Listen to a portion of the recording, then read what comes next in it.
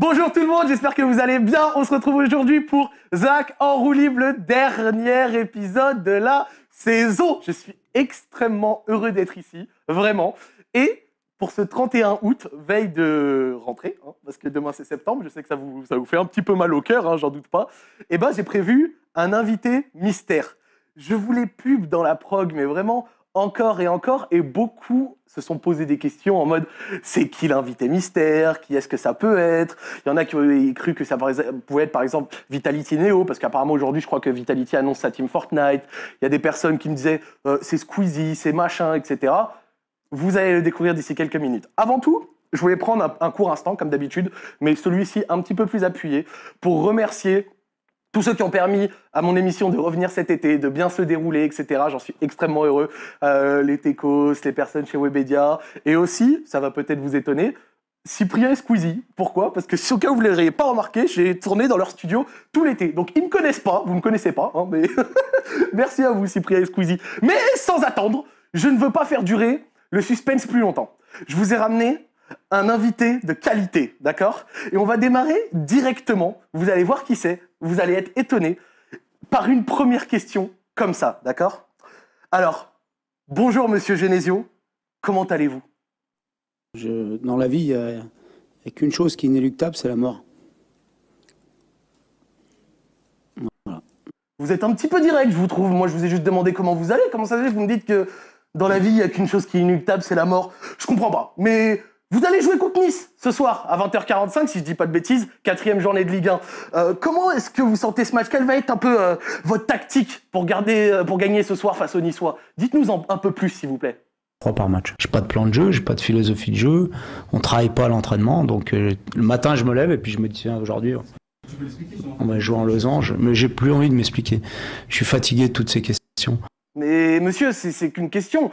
Je vous ai invité à Zach en roue libre, euh, je suis pensé poser des questions. Vous ne devez pas vous énerver, je ne comprends pas. Je comprends pas. Mais malgré tout, je crois que le public a vraiment envie de savoir qu'est-ce que, selon vous, qu'est-ce qu'il faut pour pouvoir, quelle est la recette pour pouvoir gagner un match de foot? Dites-nous, avec votre grande expérience, on a vraiment envie de savoir. Dites-nous tout. Euh, c'est complètement logique d'avoir plus de chances de gagner les matchs lorsqu'on encaisse euh, zéro but que lorsqu'on en encaisse deux ou trois par match. D'accord Franchement, je ne m'attendais pas à ça. Euh, je vous sens un petit peu gêné avec le sujet. Peut-être que vous n'êtes pas bien. Je vais peut-être essayer de changer totalement de trajectoire, d'accord, si vous voulez. Euh, et selon vous, qu'est-ce que vous pensez du mercato de l'Olympique lyonnais cet été? Mais toujours pas Ouais, euh... on reviendra demain. D'habitude. Hein. Mais vous allez où? Monsieur Genesio Mais il s'est enfui, il s'est enfui, voilà, bah je suis désolé, je voulais faire une émission originale pour avoir quelqu'un qui venait de YouTube, et il se barre, le mec, au bout de 3-4 questions, j'en peux plus Bon, plus sérieusement, je voulais faire un petit trait d'humour comme ça, parce que quand vous avez essayé de deviner l'invité mystère, il y en a pas mal qui m'ont dit, est-ce que t'as invité Bruno Genesio, machin, des trucs comme ça, donc je voulais faire un petit extrait. On va prendre avant tout le début euh, de cette émission, quelques petits instants pour vous parler de certaines choses. Je tenais à vous annoncer tout d'abord je l'ai dit sur Twitter tout à l'heure, mais je vais le dire pour la VOD, YouTube, etc. Je suis extrêmement heureux. Aujourd'hui, il n'y a rien qui peut miner mon moral, rien qui peut ruiner quoi que ce soit. Vous savez pourquoi? Parce qu'aujourd'hui, j'ai officiellement reçu mon attestation de validation de diplôme, ce qui fait que je suis officiellement diplômé. Voilà, je sors à Master 1. J'aurais pu continuer une année en plus pour aller au M2, donc Bac plus 5, mais je m'arrête à Bac plus 1. Je suis très content parce que j'ai toujours euh, essayé de faire fusionner YouTube, le stream, plus euh, euh, mes études, et j'en arrive enfin à la fin. L'année prochaine, je vais pouvoir me consacrer totalement à mon activité, et j'en suis très heureux. Je vais en profiter également pour vous dire, du coup, que Zach en va pouvoir continuer, normalement. Non, pas dans les deux prochaines semaines, mais euh, d'ici fin septembre, on va pouvoir reprendre pour la saison d'automne. Je vais m'atteler, je vais faire des émissions spéciales, euh, changer, enfin faire évoluer un petit peu le format, avoir des invités particuliers. C'est réellement quelque chose euh, dont je suis très content. À part ça, du coup, je voulais vous dire quelque chose. j'ai pas réussi à rentrer en contact avec lui, mais pour l'invité mystère, à la base, parce que vous doutez bien, quand j'avais annoncé la prod, pardon, il y en a qui m'ont dit mais Zach, on te connaît. Quand toi t'annonces invité mystère, c'est pas que t'es un invité mystère, c'est parce que tu sais pas qui est invité. Ouais, au début c'était vrai. Je savais pas qui c'était. Je savais pas qui est invité. Il y avait toute la prod qui était prête. Je devais donner des noms. Donc voilà, j'ai essayé de, euh, de rentrer en contact avec une personne et je n'ai pas réussi. Mais je t'aurais. Aujourd'hui, à la base, j'aurais aimé avoir Diablo X9. J'aurais aimé avoir Diablo X9 parce que je trouve que ça aurait été intéressant après tout le temps euh, qui est passé et tout ce qu'il a pu faire de l'avoir. Malheureusement, j'ai pas pu l'avoir. Donc si quelqu'un qui le connaît peut lui envoyer cet extrait. Benoît, je t'aurai un jour. Tu viendras ici, hein, d'accord? Et on fera Zach en roue libre. Je te veux, c'est mon défi, sais pas, c'est mon rêve. Je trouve que tu as une carrière qui est énorme, euh, il y a beaucoup de choses à dire et ce serait très très intéressant de te recevoir ici, de pouvoir parler de tout ce que tu as pu faire, ce que tu fais maintenant, etc. Ce serait un grand kiff, voilà, personnellement. Mais aujourd'hui, du coup, maintenant qu'on a passé le, euh, passage sur DX9, pardon, euh, on va passer au vrai invité du jour. Je vais vous le montrer avec une première photo. Putain. Rizzo, c'est quoi cette merde? Pourquoi, pourquoi elle est floue la photo? Pas grave, montre la deuxième. Rizzo, pourquoi Quoi? Faut être super sub à la chaîne pour avoir la, la photo pas floue? Mais c'est quoi cette merde? Bon bah du coup aujourd'hui on reçoit Jiraya. Jiraya Aujourd'hui bienvenue. Mais quel jeu d'acteur oh, Il est incroyable. Arrêtez Arrêtez. Désolé, désolé. Oh, J'étais obligé de la faire, un petit autre, c'est cool. Tu vas bien Gigi Putain je suis Bah ouais, nickel, nickel. Bon, ça, fait un peu mal d'être la, la, cinquième roue du carrosse quoi, je suis pas Diablo X9 mais... Euh, non, c'est vrai que tu m'avais envoyé ce petit message il y, a un, petit moment, je pouvais pas te répondre de suite puisque euh, j'étais moi-même au Japon. Et, euh, et moi, j'adore cette émission. Je vais pas te mentir que je regarde depuis l'époque d'Eclipsia, donc euh, je suis très très heureux d'être là et ça me fait plaisir. Franchement, quand tu m'as dit que tu l'as regardé, j'étais vraiment très content hein, parce que je me sentais un petit peu. Bah, je suis abonné, quoi. C'est euh, honoré, quoi. T'étais mon abonné, donc moi je me suis dit putain, mais le mec a, envie de venir, quoi. C'est cool. tu bah vas bien? Bah ouais, nickel. J'ai j'ai fait j'ai fait 130 km pour ton émission, donc euh, voilà, c'est que je te kiffe, tu vois. Donc ah ça, ça fait ça. fait plaisir. Non, je suis très heureux d'être là. Apparemment, ça a été un peu spoil. le Twitter, le stream a spoil pendant les problèmes techniques. Pas le chat s'y attendait. Mais c'est pas grave, euh, on s'en fout, on est là, on est à l'aise. On est là. Comment vas-tu, Gigi? Vraiment, je suis très content de, t'avoir aujourd'hui, pardon. Et euh, je te connais depuis un moment. Je te connais depuis un moment, c'est ce que je dis souvent euh, à mes invités. Mais par contre, personnellement, toi, je ne te connais pas. C'est-à-dire que je connais Gigi, mais je ne connais pas l'autre face. Donc, assez classique, je vais te demander un petit peu de, te présenter, euh, où est-ce que tu es né, quel âge as-tu, quelles études as-tu pu faire, voilà, le basique. Le basique du début, parce qu'après, j'ai préparé des trucs. Oh, il a préparé des trucs. Bah écoute, euh, moi, mon, mon, vrai, vrai prénom, c'est Ludovic. Hein. Personne ne m'appelle comme ça à part euh, mes parents, littéralement. moi, je suis né à Narbonne, sud de la France, bien sûr. Je suis né en 91, j'ai 26 ans, je vais sur mes 27. Au niveau des études, bah écoute, j'étais, j'ai un, un, petit bac quand même, j'ai le bac, sciences techniques, industrielles, génie électrotechnique. Voilà, c'est vrai que. Attends, attends, tu l'as préparé pour le dire comme ça d'une traite Mais non, mais c'est juste que les gens savent, tu vois. C'est juste que dedans, il y a génie et forcément, euh, ça, ça me sied euh, pas mal. Non, j'ai fait un bac, euh, bac classico. Yes. après les études sup, je suis allé dans une école de merde parce qu'à la base, je voulais faire dans l'infographie, tu sais. C'est le petit rêve de j'ai envie de travailler dans les jeux vidéo. J'ai fait une, école de merde à Montpellier qui s'appelait Studio M, qui était une énorme arnaque. Et ensuite, je suis parti euh, dans N'allez pas à Studio M. N'allez pas à Studio M. Si jamais, n'y allez pas parce qu'il vient de leur tailler un peu star pas possible. Hein. Puis sa mère, l'école. Et euh, non, après, je suis parti en fac, en fac de chinois. D'accord. Euh, du coup, j'ai fait, j'ai commencé une licence de chinois. T'étais quoi T'étais Jiraya le Weeb? Euh, Ouais, ouais, le Weeb un peu quoi. non, mais même pas, juste je kiffais, je kiffais les langues. À la base, je voulais faire du japonais. D'accord. Il fallait aller à Toulouse. Montpellier était plus près, financièrement c'était mieux je kiffais pas mal le chinois. Je dis, bon, vas-y, je vais me lancer là-dedans. Tu sais, c'est l'époque où tu te cherches un peu, tu sais pas trop ce que tu vas faire. Puis la fac aussi, euh, c'était moyen de faire 12 heures par semaine, quoi, tu vois, enfin, le, strict minimum. J'ai plutôt pas mal kiffé. Puis après, Eclipsia est arrivé. Et de fil en aiguille, bah voilà, je suis parti sur, euh, sur, le, sur la carrière qu'on me connaît aujourd'hui, quoi. Tu t'appelles vraiment Ludovic? Ouais, Ludovic, ouais. Et il y a vraiment personne qui t'appelle comme ça? Non, personne, gros.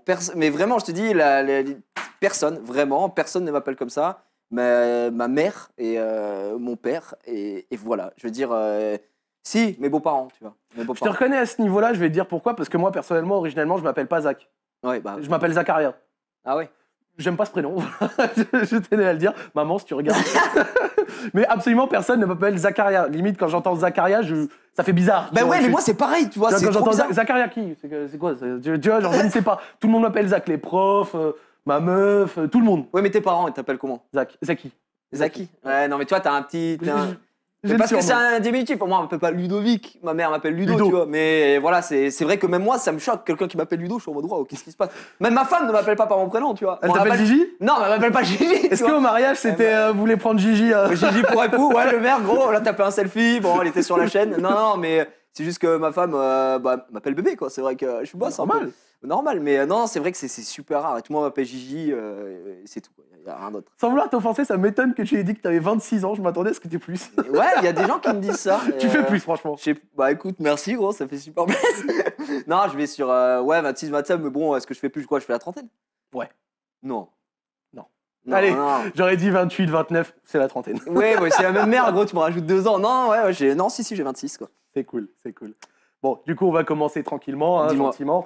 Euh, tu nous as parlé un petit peu de ta fac, fac chinois, etc. Ça, c'est classique. ouais, écoute. T'as voulu faire un peu le branle-couille. Hein. Ouais, je vais pas te mentir. Ouais, en fait, c'était l'époque où, genre, j'ai découvert League of Legends, tu vois. Et du coup, il fallait du temps pour jouer.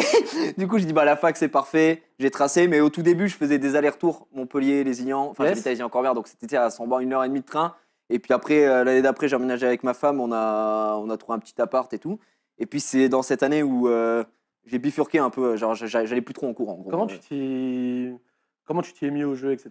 Bah, en gros, j'étais à la fac, j'ai un pote qui jouait au jeu et Mhm. qui m'a dit euh, ouais c'est pas mal et tout. Et moi j'étais un gros fan de Warcraft 3. D'accord. Et forcément Dota, tu vois, ça vient de Warcraft 3 à la base, euh, c'est les modes. Puis après ils ont fait Dota 2, etc. Et il m'a dit ouais c'est du Dota, vas-y on va tester machin. Je commençais à jouer, je tombais là-dedans et je jouais beaucoup. Bien sûr. Et toi tu sais quand t'es étudiant, bah c'est un peu la galère. T'as pas de thunes, tu vois. Et nous à cette époque-là, on était tellement, en- c'était tellement la dèche, on bouffait au resto du cœur Ah avec, ouais, avec ma femme et, euh, et du coup ouais c'était un peu la galère machin. Et à ce moment-là, je jouais à League of Legends et je me suis dit, vas-y, il faudrait que je trouve un moyen pour me faire des thunes. En jouant à League of En Legends. gros, pas forcément en jouant à League of Legends, mais mêler l'utile à l'agréable, tu vois. Et j'avais eu idée euh, à cette époque-là, c'était l'époque où je traînais sur les, les forums énormément, tu vois. D'accord. Et il y avait le forum jeu League of Legends, tu vois. Ok. Des League of Legends. Et, euh, Le forum officiel? le forum officiel, ouais. Et du coup, j'étais allé là-dessus en mode, ouais, euh, j'ai un projet et j'ai créé un truc qui s'appelait tout con, tu vois, nom de domaine tournoi lol.com, tu vois, .fr, quoi. Vas-y. Et j'ai dit, vas-y, je vais faire des tournois, des tournois gratuits. Et après, je- avec la pub qu'il y a sur le site, machin. Et je vais faire des tournois payants à l'époque, mais j'étais déjà loin. Tu vois, j'étais en mode, les gens, ils payent avec un code Allopass. tu vois, à l'ancienne. T'étais déjà intelligent, Et en gros, je disais, bah, tous les gens qui ont payé participent au tournoi. Et ensuite, la totalité des gars, je prends une, une petite marge. Je prends genre 5%. Ça me fait un peu de thunes. Et les gens, je redistribue toutes les thunes, tu vois. faire. Et j'ai voulu faire ça. Et j'ai commencé à créer ce truc-là. Et en fait, j'ai même pas eu le temps d'aller au bout du projet. Puisque Eclipsia s'est monté pour le D'accord. 1er avril. Et en mars, en gros, je vois sur le message, euh, un message, un post sur, euh, sur le forum League of Legends. Yes. Et je cherchais des gens. Et c'était la première fois que je commençais mon, du- le stream en fait. J'avais téléchargé XSplit et tout. J'avais fait deux lives. Mon PC pouvait même pas supporter League of Legends. Fallait que je le mette, tu sais, en tout petit. Bien sûr. Juste, euh, juste le mode spec. Et, euh, et je dis, ouais, bah, je fais des petits lives et tout. À l'époque, mon pic de viewers, ça a été 60 viewers. Et genre, j'étais le boss, tu vois, à l'époque. Vraiment. Parce que c'est ce que j'allais dire. Moi, j'allais dire au final, moi de tous les invités que j'ai eu, j'en ai eu plusieurs, tu vois, qui ont été chez EC. J'ai pu avoir PA, j'ai pu avoir Il y a eu Kamel, j'ai pu eu, avoir voilà, tu vois. Mais toi, au final, t'es es un peu un OG, quoi. Ah ouais, non, mais gros. OG, mais- c'est un peu un original, quoi. Un des premiers. Bah nous, on était la, on était la, la, la triangulaire d'Eclipsia avec, euh, avec Sky et Sarens à l'époque. Et euh, du coup, ouais, j'ai- postulé à ce truc-là. Et pour l'anecdote, il y a très peu de gens qui savent, tu vois, mais enfin, qui se souviennent en tout cas, euh, à ce moment-là, les, les boss de la TV LOL, c'est que c'était Kenny, Keniki. Kenny, Kenny Stream. Mais c'est- Pardon? En gros, alors, c'est les gars, les gars, vous savez pas, vous savez pas. Ah vous- non, bah non, il était pas. jeune, il avait 16 ans. Bah oui, il bah, avait moi- 15-16 ans, 15-16 ans. Et en gros, euh, C'est un merdeux, je le connais, Kenny, je l'ai Ah déjà oui, vu. Kenny, je l'ai déjà vu. Il- Attends, Kenny fait ça. Ouais, il, est tout petit, tout petit. il est c'est un enfant, gros. Bah oui. il, boit, il boit encore le lait de sa mère. Mais en gros, le, le truc, c'est qu'il il voulait faire, Rurk à l'époque, donc le patron tu sais, d'Eclipsia, il voulait faire un, un duo de casteurs fort et euh, pour faire concurrence, tu vois, à Chips et Noix. Et en gros, le truc, c'est il y avait un duo à l'époque qui s'appelait Kenny et Diablo. D'accord. Et Diablo, c'était un gars, gros, il n'existe plus maintenant, il a disparu, tu vois, c'est c'est terrible. Et, euh, et ces deux-là devaient être les, les- les têtes d'affiche du cast. Et quand on arrivait, j'ai fait un entretien d'embauche, gros, sur Skype Mhm. avec eux. C'est-à-dire que c'est Kenny qui m'a eu au tel en mode Ouais, bah pourquoi tu voudrais rejoindre le projet et tout, tu vois, comme ça. Alors que maintenant je le croise, euh, on tapait en tête, quoi. tu Ah vois, ouais, mais il n'y a, pas- y a pas de souci. Il y a deux Mais- choses qui m'ont. mais voilà. Vas-y. Il y a deux choses qui m'ont euh, interpellé, c'est que tu disais que tu- à l'époque tu étais déjà avec ta femme. euh, Ouais, ouais, moi, moi, ma femme, je suis avec depuis que j'ai. Ça va faire, euh, ça va faire 9 ans, là. Ah ça fait ouais, 9 ans en février, ouais, ouais. Non, moi, moi j'étais avec ma femme avant, et Dieu merci, avant de, de faire ce que je fais, d'avoir une commune. Depuis tout, tu vois. 2009 du coup? Ouais, 2009, c'est ça, ouais, 2009. Putain, C'est énorme, sérieux. Euh, attends, 2009, non, de- 2010, 2010, et ça va faire 9 ans en février 2019. Ouais, Putain, C'est Ouais. énorme, sérieux. Ouais, ouais, donc là, on est mariés. euh. Ça, je le dis bêtement, mais je n'imaginais pas quelqu'un qui pourrait avoir tu sais, un premier amour, entre guillemets, euh, Ah ouais, ouais, non, vers ses moi, 10 c'était- 17 ans, 18 ans. Ouais, du 17 coup ans, ouais, moi je suis de fin d'année, donc ouais, euh, fin 17, euh, c'était une histoire aussi, euh, pff, c'est- long, mais Non, voilà. mais c'était- t'inquiète, il n'y a pas besoin de rentrer forcément dans, dans les détails, mais voilà, du coup, euh, du coup ouais, c'était avant ça, j'étais encore en période de transition, on, faisait, on était à distance, tu vois, au début, et ensuite, l'année d'après, j'ai dit, vas-y, on trouve un appart, tu trouves du taf. Moi, je suis étudiant. Et Et on, faisait ça. Et euh, c'était un peu, tu sais, je te dis, c'est la période galère parce qu'elle a mis du temps à trouver du taf au début. Mhm. Et moi, j'étais étudiant. Mes parents touchent trop MDR. Donc, t'avais 20 pas le crouche Ils touchent 20 000 à l'année, tu sais. J'étais en mode, c'est trop, les gars, c'est trop, on peut pas. On peut pas t'étais pas échelon 7, toi. Non, non, moi j'étais échelon zéro, gros. J'étais échelon clochard. Et j'avais rien du tout. Et du coup, euh, ouais, je te dis vraiment, no joke. Moi, je me souviens toute ma vie. On, on prenait, on prenait le tram, l'apéronie, on, faisait, on tapait 4 arrêts pour aller au vieux Lidl. Et genre, gros, ce que je bouffais, c'était des. J'avais pas de pain, j'avais pas d'argent pour acheter du pain, on achetait des biscottes, frère. Mais c'est- je te jure, c'est pas une blague. Notre pain, c'était des, Vraiment, des les biscottes, c'est Scott. Bib, premier prix, gros, tu croustillant, tu prenais, il y en avait 4-5 qui étaient déjà éclatés au début, et on badigeonnait du, du, du pâté de foie gras là-dessus, gros, j'étais en mode, ça c'est un putain de repas, les gars, personne va me tester, tu vois. Bah oui. Ah ouais, mais c'était et c'était matin, Et midi elle et te soir. soutenait j'en à l'époque euh, déjà? Ah, euh, Ouais, quand j'ai commencé, vraiment, ma femme, elle m'a toujours soutenu dans tout ce que j'ai fait, toujours. Euh, elle a toujours été à fond, même au début, tu vois, c'était un... Quand elle voyait que j'avais plus trop en cours, tu as fait, ouais, t'es sûr, euh, tu vas pas... f- C'est mes beaux-parents, donc ses parents, tu vois, qui étaient en Mhm. mode, mais non, mais qu'est-ce que tu fais Euh, Continue le chinois. En plus, je, bossais pas mal en chinois et ça allait, tu vois, j'étais bien. euh, bon J'avais des bonnes notes et tout, ça, ça se passait bien à la, à la fac, tu vois. Et j'étais en ouais, attends, continue trois ans, tu peux faire interprète, c'est très bien. Et après, je fais, non, je vais écouter mon cœur. en fait. Et là, j'ai mon cœur me parlait, il me disait, gros, tu peux pas, tu vas pas parler chinois, en fait, ça pue la merde, euh, arrête. Il m'a dit, va, va, va jouer un peu, va, va, te faire, va te faire plaisir.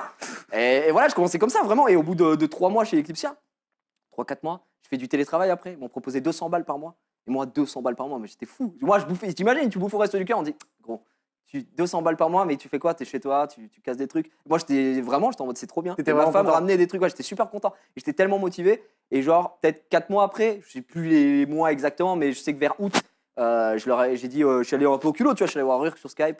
J'ai dit, ouais, je sais que vous avez de la place, ils avaient leur bureau à, à Bordeaux. Mhm. J'ai dit, ouais, je sais que vous avez de la place et tout, moi je suis grave motivé, je peux venir, machin. Et en fait, il m'a fait un truc de bluff, il m'a dit, euh, ouais, bah écoute, euh, je te propose un contrat à 1000 balles par mois, et D'accord. tu viens, chez, tu viens à Bordeaux, tu trouves un appart et tout, tu vois.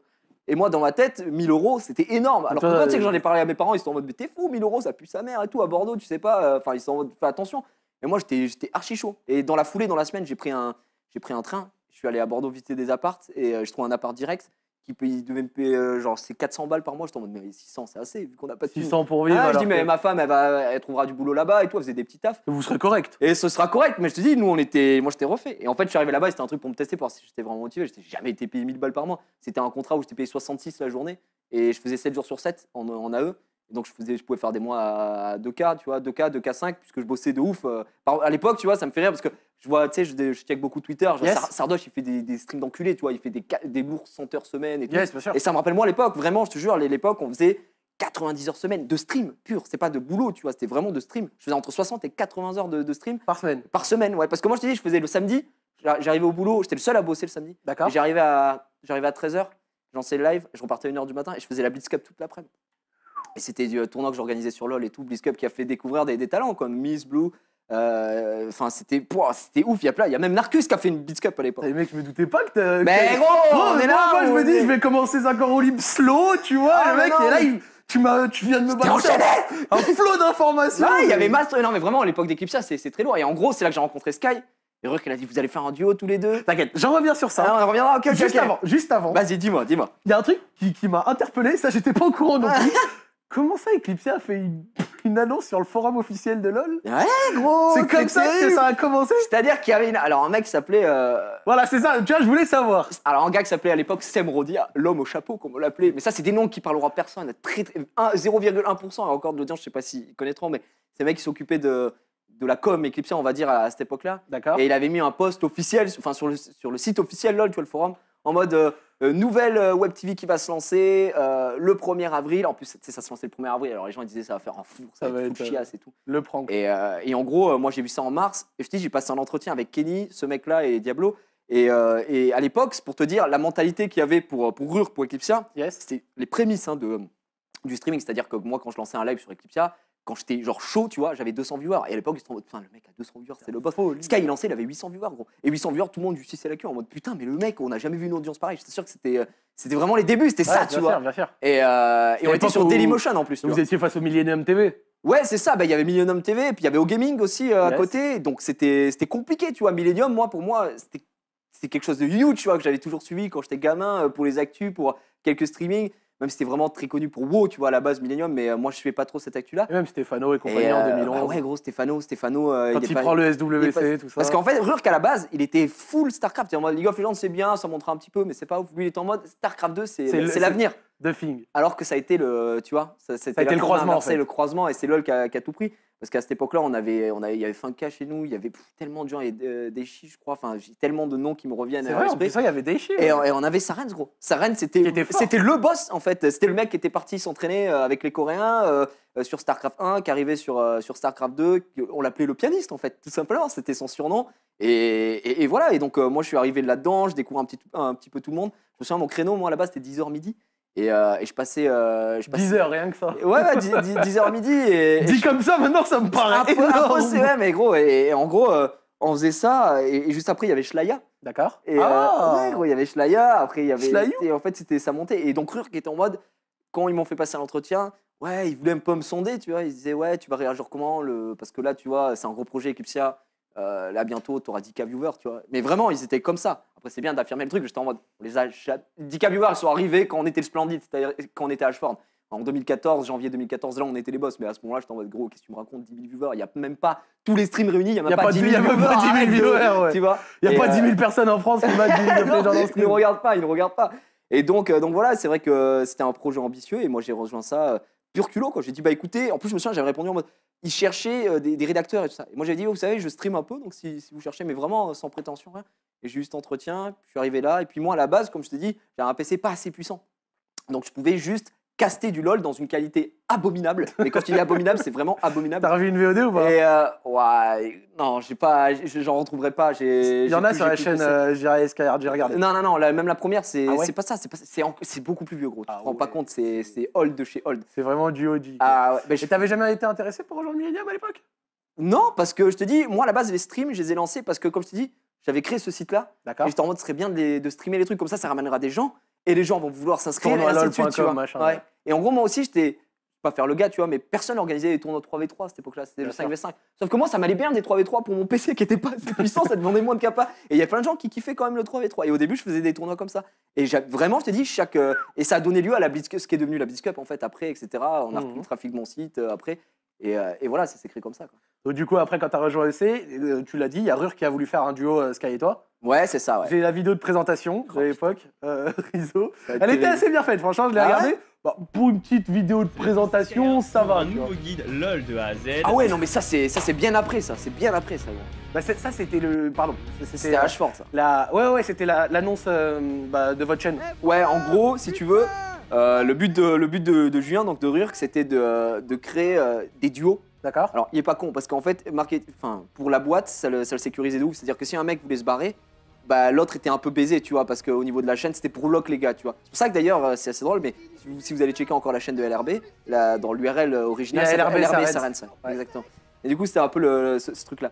Euh, du coup, moi, j'étais avec Sky parce que déjà, on s'entendait bien, et euh, en gros, il voulait qu'on fasse un, un duo de casse, quoi. D'accord Et euh, comme il y avait plein de chaînes euh, de genre, euh, le but c'était de créer des, des- des vidéos de présentation le jour où il y a eu la mise à jour euh, YouTube, tu sais, où tu avais la vidéo qui se lançait en presse en fait.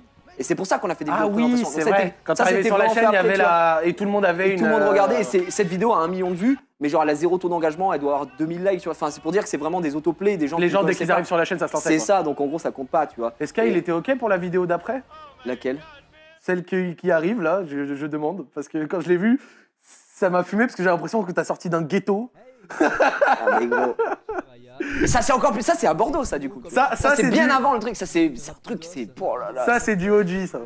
Ça, c'est terrible. En gros. euh, Parce que moi, je te jure, j'ai vu cette vidéo en chapeau Timo avec les gros veuches de métalleux sur le côté. Ah ouais, non, mais c'est. Putain, la gueule. Et puis, j'étais tellement maigre à cette époque. Ça me choque hein, de revoir des trucs comme ça. Je trouve que. Je suis pas caisse, hein, les gars, on va pas se mentir. Non, mais là, ça se voit, t'as les joues un peu creuses. Mais ouais, c'est ça. Et quand je revois les trucs, je me dis, putain, mais j'étais un squelette. C'est, euh, ça me choque.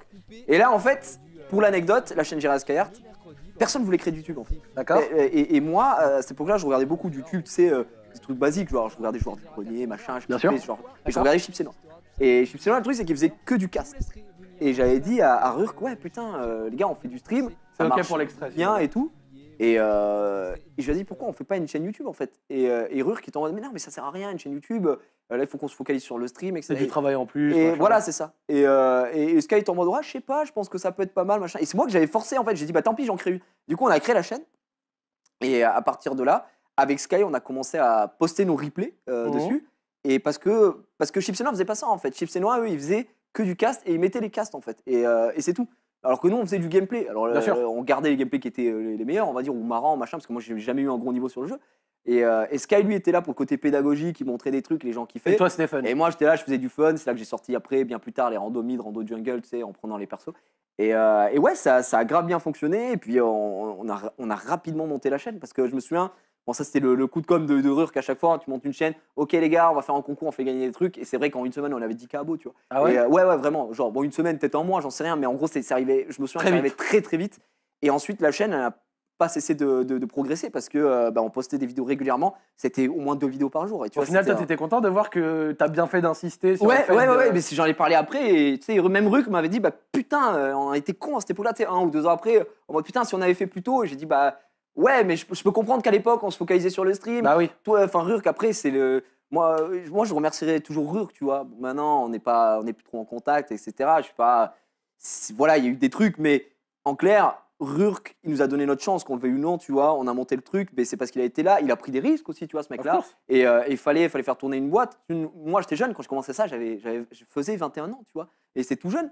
Et au final, euh, tu te rends pas compte que les mecs, quoi. fallait lâcher des thunes. Rurk, qu'on le veuille ou non, c'est le premier mec à avoir salarié des types dans, dans le gaming, tu vois.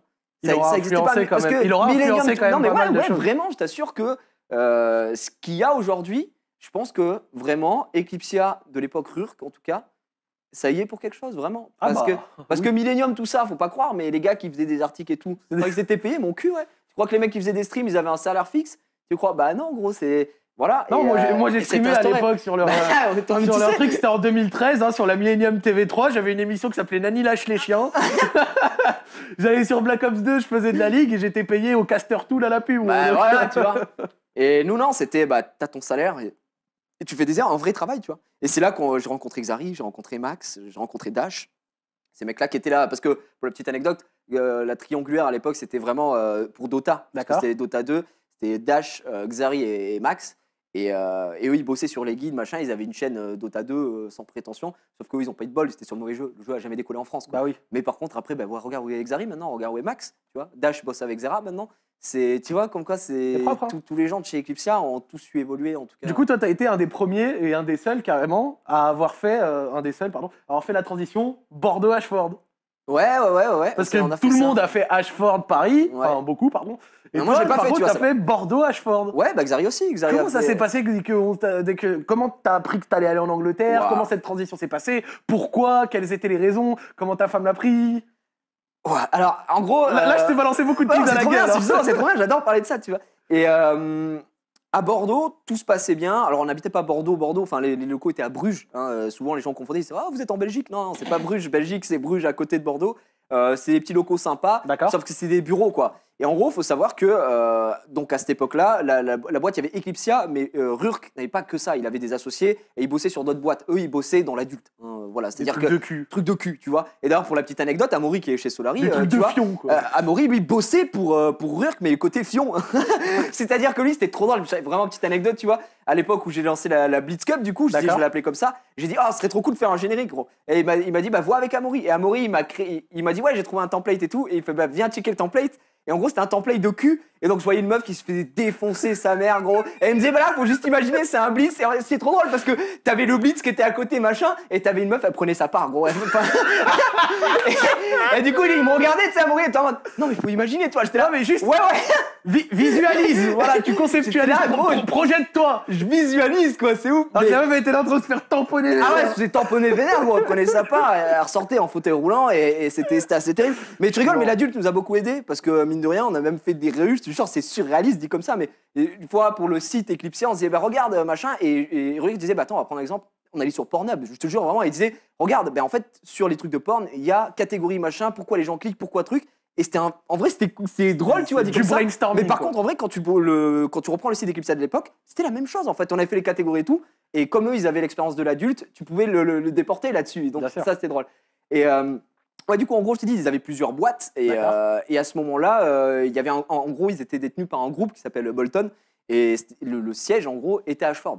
Euh, et donc, au bout d'un moment, le big boss tu vois, de, de Bolton est arrivé.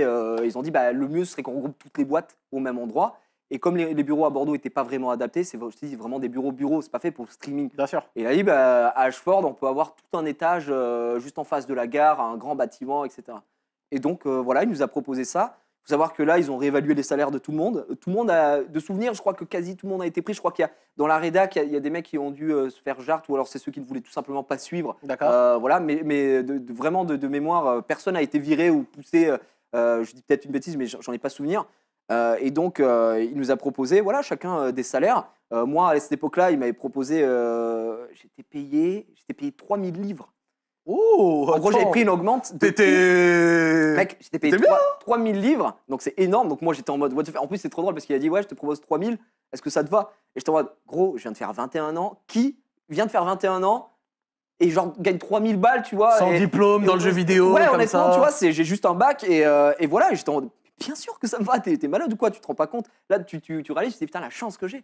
Et, euh, et en plus, on va en Angleterre. Alors, Ashford, ça- sur papier, ça ne fait pas rêver. Même sur place, ça ne fait pas rêver. Mais, mais c'est une expérience. Je veux dire, t'as 21 ans, c'est le moment de voyager, tu vois. C'est pas à 70 que tu dis, putain, j'ai envie de vivre des choses. Bien sûr. Et donc, euh, et donc voilà, j'ai raconté, j'ai dit ça à ma femme.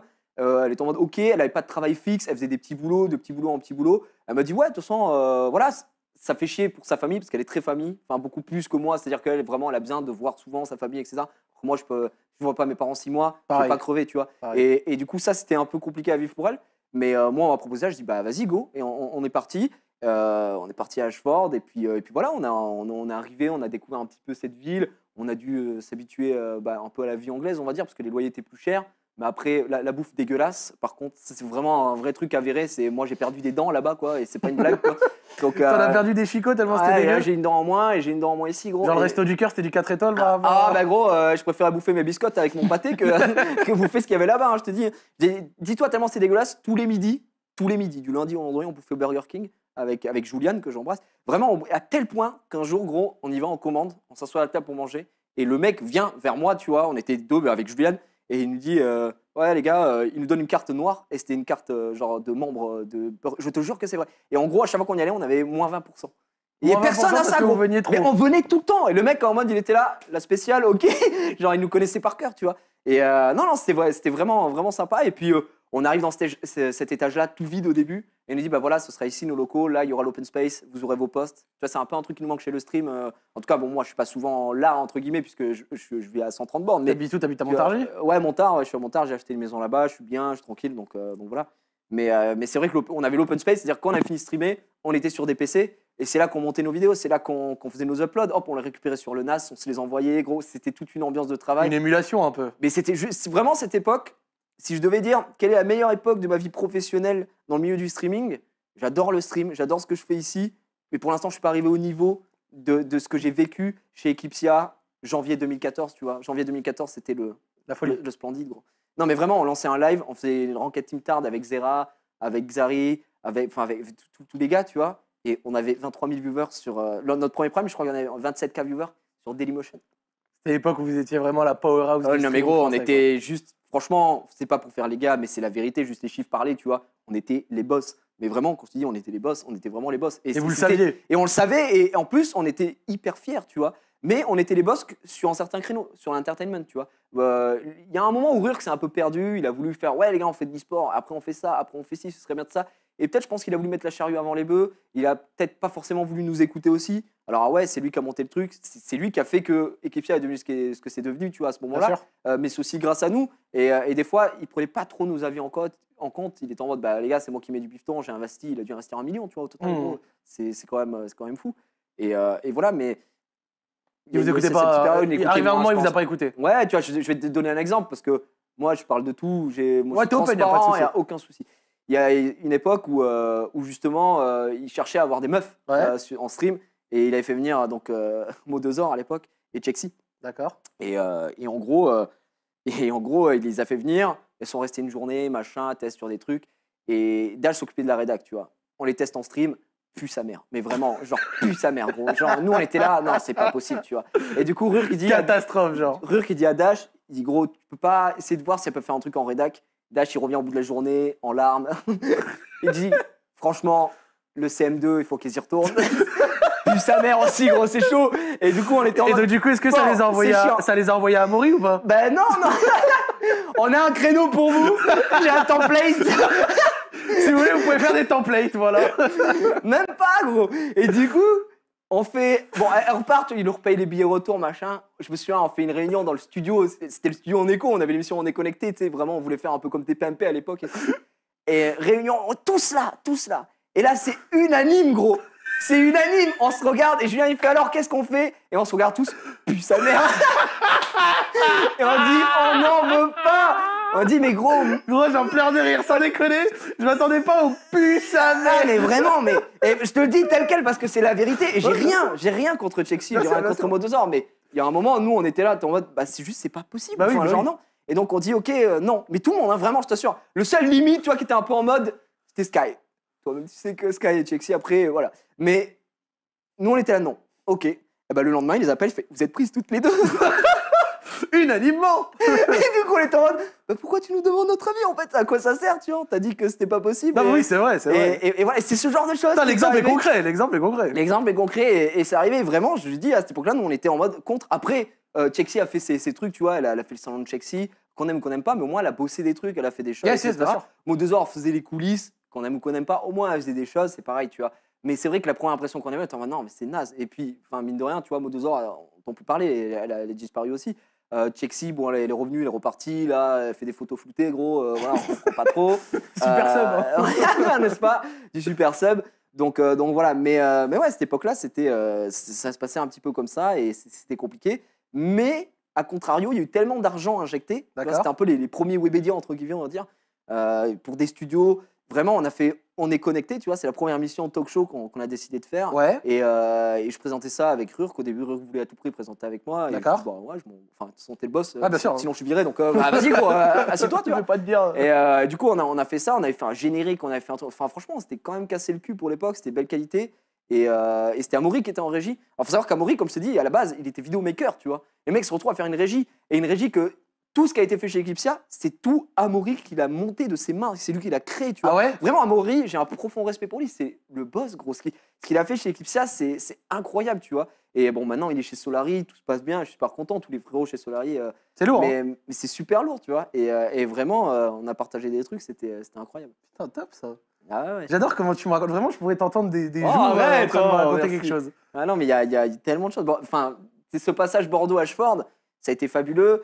Et, et en gros, voilà, pour revenir euh, donc euh, sur, sur, ce, sur ce départ, Yes. on arrive là-bas, on, on a tout à créer, tu vois. On a tout à créer. Et il faut savoir que euh, Bordeaux, les mecs qui streamaient à cette époque-là, D'accord. donc il y avait de temps en temps, il y avait Tépouze le matin. Tu vois, Tépouze c'était streamé, c'était connu pour Pokémon, pour faire des blagues et tout, c'était The Belge. Et ensuite, moi, je faisais mon créneau, les midi J, donc midi 14h. D'ailleurs, pour la petite anecdote, le midi Chapi, faut savoir que Chapi est venu me voir avant de sortir ce truc-là. Et m'a dit, ouais, est-ce euh, que. J'étais en mode, mais gros, on s'en fout, c'est un an, vas-y, c'est trop cool, tu vois. Mais euh, parce que Chap était un abo. Gros, il a la première fois qu'il est arrivé chez Eclipsia, c'était un putain d'abo. Genre, il était en mode, euh, putain, Gigi, je regarde tout. Il participait au randomide, frérot. C'est. Ah ouais? Ouais, je te jure, c'était un abo. Et Quand tu l'as vu ah avec euh, sa petite tête de Babtou et son grosse couche Ouais. camembert comme ça, là, comment? J'étais en mode, euh, il me disait ça, ouais, tu fais les randomides et tout. Et j'étais en mode, oh, c'est- trop drôle, tu vois. Bah et oui, là, c'est trop. Bon, il est banni maintenant, mais bon, pas. Faut pas en parler. hein. Voilà, on peut pas, on peut pas trop en parler. Euh, mais non, mais super cool, tu vois, tu vois que le monde est petit et au final, euh, bah, juste, c'était un monstre sur, sur LoL et, et voilà. Et après, ils ont monté la team pro, machin. Et euh, donc, moi, je faisais BDGG. Ensuite, il y avait Sarens après moi qui faisait 14h, 16h. Et 16h, 18h, il y avait Sky. En fait, tout était fait pour que ça monte crescendo. Ça petit, quoi. Et voilà, ce soit petit. Et en gros, je te dis, quand on était la triangulaire, on était les piliers. Et c'est sans prétention que je le dis, tu vois, chez Eclipsia, tous les jours, on était en live, tous les jours, on montait le truc. Et le soir, on faisait un prime. Et le soir, c'est-à-dire, on se retrouvait tous les trois. On, on avait fait un.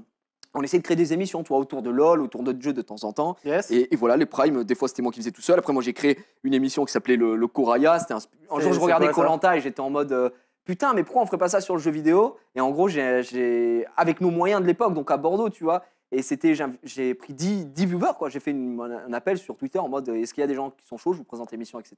D'accord. Présenter le truc avec sont en mode ouais, on est chaud pour mettre un peu de thunes, genre 500 balles pour le gagnant, tu vois. Pour l'époque, c'était énorme. Et en gros, le but, c'était- que les gens s'affrontent sur différents jeux. Donc, je voulais un jeu de fight, un jeu de course. Il y avait League of- Alors, en gros, il y avait euh, Trackmania, il y avait League of Legends, StarCraft, Euh, C'était vraiment l'émission, quoi. Ouais, il y avait Street Fighter et euh, Sh- euh, Shootmania à l'époque. Shootmania, gros, c'est pour te dire. Il devait avoir tous les jeux, les bonhommes. en gros, les mecs devaient avoir tous les jeux. Après, ça va, y en a, la plupart étaient gratuits. Il y avait juste euh, Street Fighter à acheter euh, et StarCraft. Et en gros, voilà, le but, c'est, j'avais dit aux gens, si vous voulez participer, il faut ça. J'avais fait une phase de test, que les gens soient aussi à l'aise parce qu'ils allaient parler, etc. Euh, pendant les lives. Et en gros, c'est, on commençait à 10, tirage au sort. Les, enfin, tirage au sort. J'ai fait un équilibrage en fonction des tests que j'avais fait passer aux mecs parce qu'il y avait par exemple, il y a un mec qui était joueur pro, enfin semi-pro sur Street Fighter. Je dis, je peux pas le mettre avec un autre mec qui est chaud, tu vois, dans Ouais, la il va même baiser équipe. tout le monde. En gros, c'était du 55 et c'était Colanta en fait. C'est-à-dire, on commençait, il faisait une épreuve de confort. C'est-à-dire que, imaginons le 5v5, je disais, bah tiens, euh, pour l'épreuve de confort, en gros, les épreuves de confort, c'était toujours des modes fun des jeux. C'est-à-dire que StarCraft 2, par exemple, il y avait un mode, c'était du foot. Et en gros, Ouais. tu jouais avec des persos et tu devais mettre, mettre des buts. Enfin voilà. Et l'équipe qui gagnait, bah, il gagnait des goodies, tu vois. Et genre, il gagnait une souris ou euh, chacun, tu vois. Donc les C'est mecs étaient déjà. ouais, à Et ensuite, il y avait l'épreuve d'immunité. Et alors, c'était un 5v5 euh, League of Legends. Donc, nous, on, on castait, c'était en BO3. Et après, l'équipe qui perdait, bah, ils étaient en mode, on doit éliminer quelqu'un. Et après, ils se retrouvaient neuf. Et c'était ça chaque semaine, jusqu'à qu'il n'en reste plus qu'un. Ah, c'était ça chaque semaine. Moi, je pensais que vous faisiez ça en une soirée. Non, non, non, ils ont fait ça, tac, la semaine. Et c'est pour ça que j'aurais dit, vous devez être disponible pendant tant de semaines, tous les vendredis soirs, machin. Et, et tout le monde a été là. Et en gros, ça a fait une émission qui a duré euh, deux mois, tu vois, euh, un, un truc comme ça, un peu plus. Et, euh, et à la fin, c'est bah, d'ailleurs, c'est le mec de Street qui a gagné, Junior Léo, qui s'appelait. Il a gagné euh, euh, de 500 balles. après, les mecs ont gagné des épreuves. En fait, ce qui est bien, c'est que tout le monde pouvait gagner des trucs, parce qu'il y avait des épreuves de confort. Et j'équilibrais, et le concept d'émission était très cool. Je voulais le reprendre ici, mais ça demande beaucoup de taf, donc j'ai pas eu le temps et tout. Mais tu vois, c'était le genre de choses qu'on Ah, essayait c'est de créer. moi, moi franchement, je pensais pas, je savais pas. Ouais, je ne bah, savais écoute, pas. hein, c'est vieux, c'est c'est- je t'ai dit l'époque Bordeaux. Et après, on a voulu reprendre euh, d'autres choses après euh, sur, euh, sur Ashford parce qu'on a plus de moyens. Donc, euh, on s'est dit, euh, bah, faut essayer de faire plus d'émissions en plateau. D'accord. Et il y a eu ce moment où Julien, donc Rurk, hein, vient nous voir en mode, les gars, voilà, là, on marche bien, grossit bien. Est-ce qu'on créerait, enfin, est-ce qu'on recruterait pas des mecs un peu lourds, tu vois, aussi, euh, pour apporter, euh, Mhm. apporter un truc, à- une nouvelle pierre à l'édifice D'accord. et c'est là qu'ils re- recrutent le, le Tolls, tu vois. Donc euh, c'était Twix, euh, Hogar, Lège et t'as- Et, et donc, donc ils arrivent tous.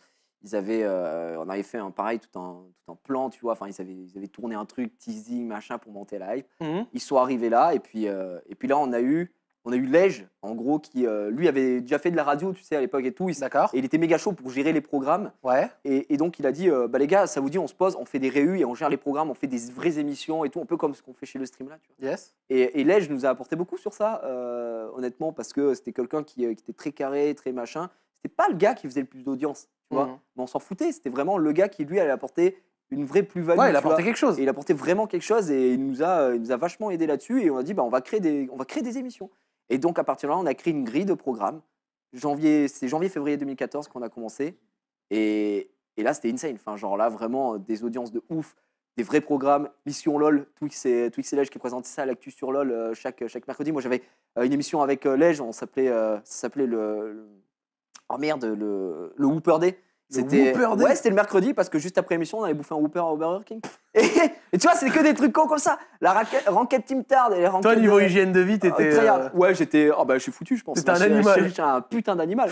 ah ouais, ouais, gros. Et, euh, et voilà, on a créé ces programmes. Moi, J'avais une émission avec Hogar qui durait une demi-heure. J'avais fait. En fait, j'avais un créneau d'une heure. La première demi-heure, c'était avec Hogar. La deuxième demi-heure, c'était avec Zari. D'accord. Et euh, c'était le beat de Xari. Donc, en gros, Xari est Ah, très connu pour sa culture générale, tu vois. Et euh, en gros, chaque, chaque semaine, il avait un nouvel adversaire pour l'affronter sur, du- en gros, euh, des questions de, de culture G. Ah ouais? Et euh, c'était en. Il était en- vraiment fort? Ah non, mais gros, il a sur toutes les émissions, je crois qu'il en a perdu deux. C'est tout? Ouais, vraiment. Et sur toutes les émissions, genre, il y en a eu combien? Peut-être une trentaine Cinquantaine? Ouais, ouais, vraiment. Mais non, mais il était vraiment le boss, hein, Xari. euh, voilà, c'était. Xari le boss, quoi. Xari le boss. Et juste avant, on avait l'émission avec, euh, avec Hogar, ça s'appelait 18. Et c'était euh, c'était vraiment des trucs, on mettait des vidéos à la con, on avait plusieurs rubriques. Mhm. Et, euh, et ça finissait par la patate de forain, parce qu'Hogarth, il est connu pour être un peu stoïque, un peu, un peu regard méchant. Euh, en plus, ça faisait rire, parce que comme il faisait des arts martiaux, il m'avait dit une fois, ouais, je suis une arme de catégorie. Je suis considéré comme une arme, Arme de catégorie 8. Et du coup, j'arrêtais pas de sortir ça, tu vois. Et juste à la fin, on blanche, quoi. finissait avec euh, un- une actu MMA, parce que lui, il cherchait ça. Et un mec qui se prenait une énorme dérouillée dans la gueule, à la fin, on, on fermait, on fermait là-dessus. On a les émissions, Zerator a fait son Zerator fait des trucs. Tu vois, c'était c'était là à l'époque C'est où il avait créé hein. son truc là. Moi, à l'époque, j'étais chez. Millennium quand il y avait le Tolls qui, qui est parti Qui est chez EC. ouais. Mec, c'était ambiance cimetière. hein. Ouais, tu m'étonnes, tu m'en avais tracé. Moi, J'étais à la GH à Marseille, les gens, il n'y avait pas, il y avait Ah pas ouais. beaucoup de sourires. hein. Irréductible, le Dwagby qui était en live, tu sais, le midi, c'était le seul qui tenait le truc. Il y avait Dwag, moi, Dwag, il était comme ça. Eh, Dwag, tu rappelles à l'époque ou pas Hein? Bon, Je t'ai vu te branler. Non, je rigole, je rigole, je rigole. je rigole. Ah ouais, c'était c'était terrible. Et ouais, on a, on a recruté. Et là, on était juste. euh, vraiment, c'était dit, c'était splendide. Et qu'est-ce qui a fait que toi, t'as quitté, du coup? Alors, en fait, il y a eu cette période-là, c'était ouf. Et là, Domingo arrive, tu vois. D'accord. Et je me dis, je vais quitter parce qu'il y a Domingo, tu vois. C'est, je le déteste, ce mec-là. Ah ouais? Ouais, vraiment. Tu l'aimais pas? C'est jamais à l'époque. Non, pas du tout, je ne connaissais pas. Et en plus, à cette époque-là, gros, Domi, il arrive. Et c'était compliqué pour lui parce que il- nous, on est une équipe, tu vois, soudée déjà et tout. C'est toujours un peu compliqué d'arriver dans un groupe. Donc, enfin, Domingo, la première fois qu'il arrive, il était tout timide, euh, tout machin. Alors, en plus, seul truc, seul live qu'on connaissait de lui, c'était ses lives affiliés. Parce qu'il faut savoir qu'à l'époque, Eclipse avait lancé un truc. Ouais, je sais, mais c'était le plus gros affilié lui. Voilà, et c'était le plus gros affilié, mais gros, il faisait des lives bazooka, mais tout, tu vois. Bah oui. Et du coup, on était là, Ouah, c'est qui ce gars il fait, il fait ça, mais il est drôle. Nous, on le trouvait drôle. Et il est arrivé, on a grave sympathisé. Et puis, euh, puis voilà, il était bon sur LoL en plus. Et lui, il a grave sympathisé avec LRB, c'était les bros, tu vois. Et euh, parce qu'LRB, après, il s'est fait, euh, il fait choper par Sky, parce que Sky le connaissait. Il a dit, franchement, c'est un bon streamer, il a un bon niveau sur LoL. On cherchait des gars à l'époque sur LoL, tu vois. C'est un peu le créneau. Euh, Rur, qui était d'ailleurs un peu chiant avec ça, il était en mode, ouais, ce qui fait de l'audience, c'est LoL, il faut faire du LoL, tu vois. Un peu comme je dirais maintenant du Fortnite. Mais à l'époque, c'était vraiment LoL. Et. Rur qui a insisté là-dessus. Et moi, je disais, mais gros, il n'y a pas que ça, tu vois. Il faut pas s'enfermer dans un truc parce que le jour où on va en sortir, bah, c'est foutu. Et euh, ça n'a pas loupé pour, pour certaines choses, tu vois. Mais, mais voilà. En moi, ce qui a fait qu'il quittait, c'est que au bout d'un moment, il y a eu, faut s'y attendre, tu vois, une web TV. Tu vois, les gens grossissent indépendamment des autres. Et tu sais, des fois, tu as des guerres d'ego, tu vois. D'accord. Et, euh, et je pense, je pense que tout simplement, il y a des gens qui se sont dit, bon, c'est bien parce qu'on est tous payés un salaire. Ouais, on s'en foutait. Lui, il est payé tant, il est payé tant, on s'en branle, tu vois. Moi, j'étais en mode, bon, bah, je suis payé 3K, je m'en fous.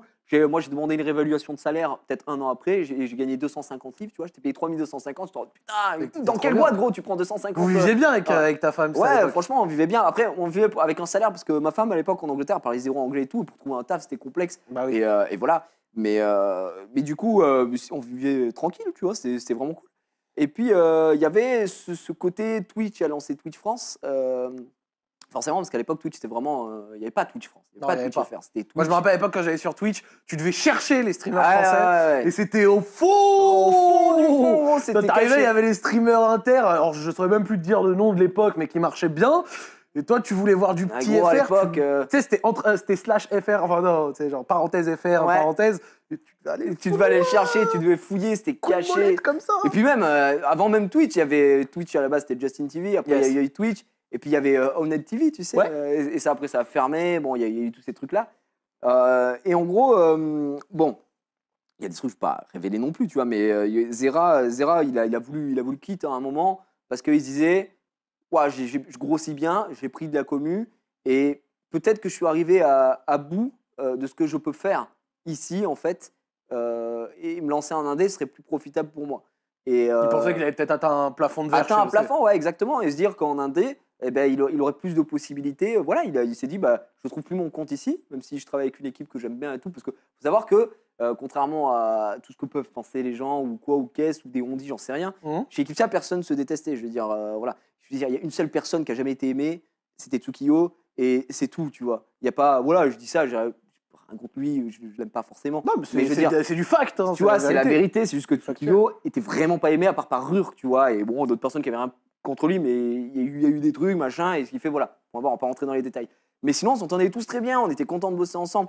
Mais il y a un moment, il faut que tu penses à ta carrière. Tu sais, on est sur Internet, c'est éphémère. Demain, peut-être tout s'arrête, tu vois, gros. Demain, je suis, euh, je marche plus. Je lance un, je lance un live, j'ai j'ai 10 viewers et c'est ma mère. Bon, tu vois, c'est chiant. Tu, donc, tu- tu euh, prends le métro, tes doigts se coupent, hop. Ouais, ouais, bah tu peux plus rien faire, tu vois, t'es foutu. Donc, euh, donc euh, il Bah, faut tu vas faire penser à libre avec moi. ouais, tout le temps. Rien de produire, gros, je suis en régie. Et, euh, et donc, il faut se dire, bah les gars, euh, il faut que je pense un peu à moi. Et donc, je pense que Zera, il est arrivé à un truc où il s'est dit, bah j'atteins un plafond, j'ai envie de tracer. Euh, il a fait ça. Là, ils ont suivi un truc, un petit drama avec Rur, parce que Rur avait trouvé la façon de faire de Zera pas très Pas bonne. cool, euh, il l'avait pas prévenu, machin. Voilà, il lui en voulait euh, vraiment. Et Zera, il a dit, bah tu vas faire quoi? Enfin, genre, je, je pars, je pars, je pars, en fait. Qu'est-ce que tu vas faire? Je vais pas venir streamer. bah ouais, euh, enfin, je, me- je tire et puis voilà. Et ensuite, bah, il y a eu d'autres gens, il y a eu d'autres départs petit à petit. Il y a eu PA, il y a eu. Toi, t'es parti avant ou après PA Non, moi je suis parti après, moi. Nous, on est parti Ah ouais tard. Et en fait, on est parti en même temps avec Sky. Et bon, Sky, Chexy et Sky étaient ensemble à cette époque-là, ils sont partis aussi ensemble, tu vois. Mais, euh, mais ouais, avec Sky, parce que. euh, en plus, tu sais, on est parti. euh, Quand je suis parti à une date d'anniversaire, ce qui fait que les gens croyaient que c'était un fake. Parti le 1er avril. On a lancé le 1er avril. Alors et, ça et faisait genre, la pire pas, Ouais, genre, c'était. Après, quand les gens ont vu qu'on pleurait en live et tout, ils étaient en mode. Tu sais, c'est dur de vraiment pleurer parce que nous, tu sais, on était vachement émus. On- C'est un truc, c'est trois ans, tu vois, chez Eclipsia. Mais trois ans où nous, on a connu la galère, gros, de la galère, vraie galère, où euh, où il y a une période d'Eclipsia où on montait euh, à Bordeaux et une période où tous les gens sont partis en mode ouais c'est que de la merde et machin et tout ça, on se faisait chier dessus. Il y avait une histoire de, de viewbotting, Ah oui, etc. les dramas, qui tout était ça, totalement, euh, totalement des Il conneries. y avait un truc vois. qui était sorti sur Tima. Parce que voilà, c'est ça. En fait, il y avait des embeds et les gens disaient, ça c'était très drôle et je le rappelle encore une fois, mais les gens disaient c'est des embeds cachés parce que quand tu arrives sur un site, en fait, le lecteur est caché, Il tu ne vois pas. Alors que non, les gens qui avaient un lecteur caché, c'est juste qu'ils avaient adblock. Voilà, pour voir, enfin, je veux dire, euh, il y a un moment, euh, t'as juste adblock, euh, donc euh, sois pas con, quoi. Et donc les gens, Tima avaient lancé plein de trucs, machin. Moi, j'ai la vérité, les, les vrais trucs. C'est pas des embeds cachés, c'est juste l'achat de trafic, en fait. C'est comme euh, plein de choses. Et il y a un moment, cet achat de trafic, qu'il le veuille ou non, si même s'il y a 10% des gens qui, qui étaient là, bah, qui ont découvert ce truc-là, bah, ça augmente en fait la part de marché euh, de gens qui regardent Total, le stream. ouais. Donc, euh, donc c'était juste bénéfique, tu vois. Et puis au pire, ça faisait chier personne, puisque c'est juste Rure qui perdait des thunes si ça marchait pas, tu vois. Donc euh, j'ai jamais vraiment compris ce, ce, ce hating-là, mais bon, soit. Et donc, euh, donc en gros, il y a eu cette période où vraiment on nous a enfoncé, machin. euh, plein de gens sont partis, Kenny s'était barré, enfin plein de gens.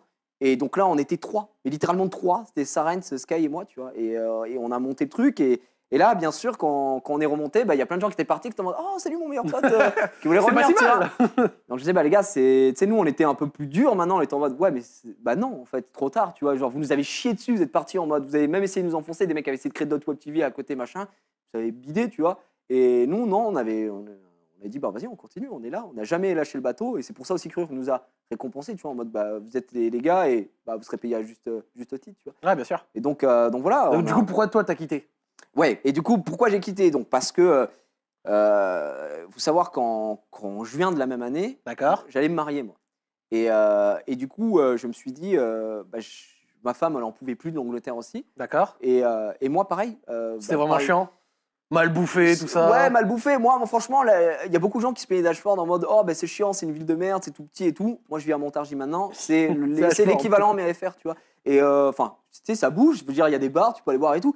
C'est juste que les gens étaient en mode le problème, c'est que c'est en Angleterre. Le problème, c'est que c'est pas, c'est pas une heure et demie de Paris, c'est à 400 livres de Paris, parce que l'Eurostar, ça coûte une blinde. Le sûr. problème, c'est que tu sors, tu fais pas vraiment de nouvelles rencontres parce que bah, il faut parler anglais et puis flemme, tu vois. Il y- avait plein de trucs comme ça. Tu sors avec qui? Bah, Des collègues de boulot. Donc au bout d'un moment, tu vois, c'était des. Boulot, C'est boulot, toujours, ouais, c'est bien parce qu'on s'entend super bien, mais au bout d'un moment, quand tu vois toujours les mêmes personnes, H24, machin, c'est normal, tu as envie de voir d'autres personnes.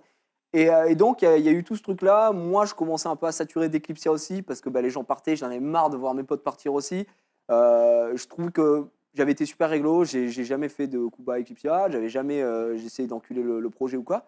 J'ai bossé comme, euh, comme j'ai dû bosser, et puis je me suis dit, bon, bah, je vais me marier. on arrive, bon, on est en 2015, j'ai fait mon taf Nouvelle vie, quoi. nouvelle vie, puis j'ai envie de retourner en France. Ouais, bien sûr. Et là, là, je me dis bon, Ta mère bah, patrie. Je, je vais quitter. Ouais, voilà, c'est ma mère patrie, quoi. J'ai envie de. Et puis, tu sais, je me suis dit bon, vas-y, je vais me lancer en indé. Et c'était l'époque où moi, je saturais de League of Legends. Vraiment, on m'avait tellement forcé. Et je dis en bien faire. vraiment forcé à faire du League of Legends. Je pouvais plus, gros. Vraiment, je, le jeu me dégoûtait. Et je me suis dit, bah, je vais me recréer une chaîne, tu vois. Je me suis dit, bon, j'irai à la chaîne que j'ai maintenant, j'irai à la télé. Et, euh, et là, je vais me recréer une chaîne, mais je vais faire ce que je veux dessus. Et je vais pas la puber sur mon autre chaîne, tu vois. Euh, en gros, Sky, il a fait une passerelle sur Skyheart et Chelsea. Parce que la chaîne qu'il a, c'est Skyheart maintenant, mais euh, à l'époque, c'était Skyheart et Chelsea, tu vois. Il a, il, a, il a enlevé quand ils ont quitté, enfin, quand ils sont séparés. Et en gros, il a dit, bah, moi, je vais faire une passerelle. Il m'a dit, Gilles, tu devrais faire la même, prendre une passerelle en mode, bah, les gars, ma nouvelle chaîne, ça va être ça maintenant. Comme Toi, ça, tu reparti, ramènes ma toi, t'es reparti de zéro. et moi, j'ai dit non. Je dis franchement, je veux pas. Et je m'en bats les couilles. Et il y a eu ce moment où je suis. euh, vraiment, je, je- je voulais vraiment pas. T'avais l'air euh, d'être sûr de toi, quoi. Ouais, sûr, parce que je voulais pas que. T'es un peu en soum-soum. Je voulais pas, je voulais pas que les gens euh, de League of Legends qui suivent pour League of Legends reviennent. Et puis, toi, tu sais, une communauté, c'est pareil sur Code, c'est pareil sur plein d'autres jeux. euh, ou quand t'es mono-jeu, où les gens sont en mode Ah, mais fais pas ça, ça casse les couilles et tout. Et donc, moi, j'étais en mode Bah non, j'ai plus envie, donc je le dis pas. Et j'avais juste dit sur Twitter et tout. Et, euh, et au début, euh, tu sais, je vais pas te mentir, c'était un peu plus dur. Mhm. Mais, au début, je devais me lancer sur Twitch. D'accord. Et euh, parce que Twitch FR, le J'allais faire la remarque. J'allais faire la remarque. J'allais dire, moi, moi à l'époque, je streamais du Black Ops 3, je me rappelle. Ouais. Je marchais plutôt bien, j'étais content. Mais, boss, quoi. euh, toi, tu streamais, parce que j'ai déjà vu plusieurs fois Jiraya.tv et tout ça, je cliquais et t'étais sur Daily. Ouais, Dailymotion. Alors pourquoi? Parce que Il te donnait un salaire fixe.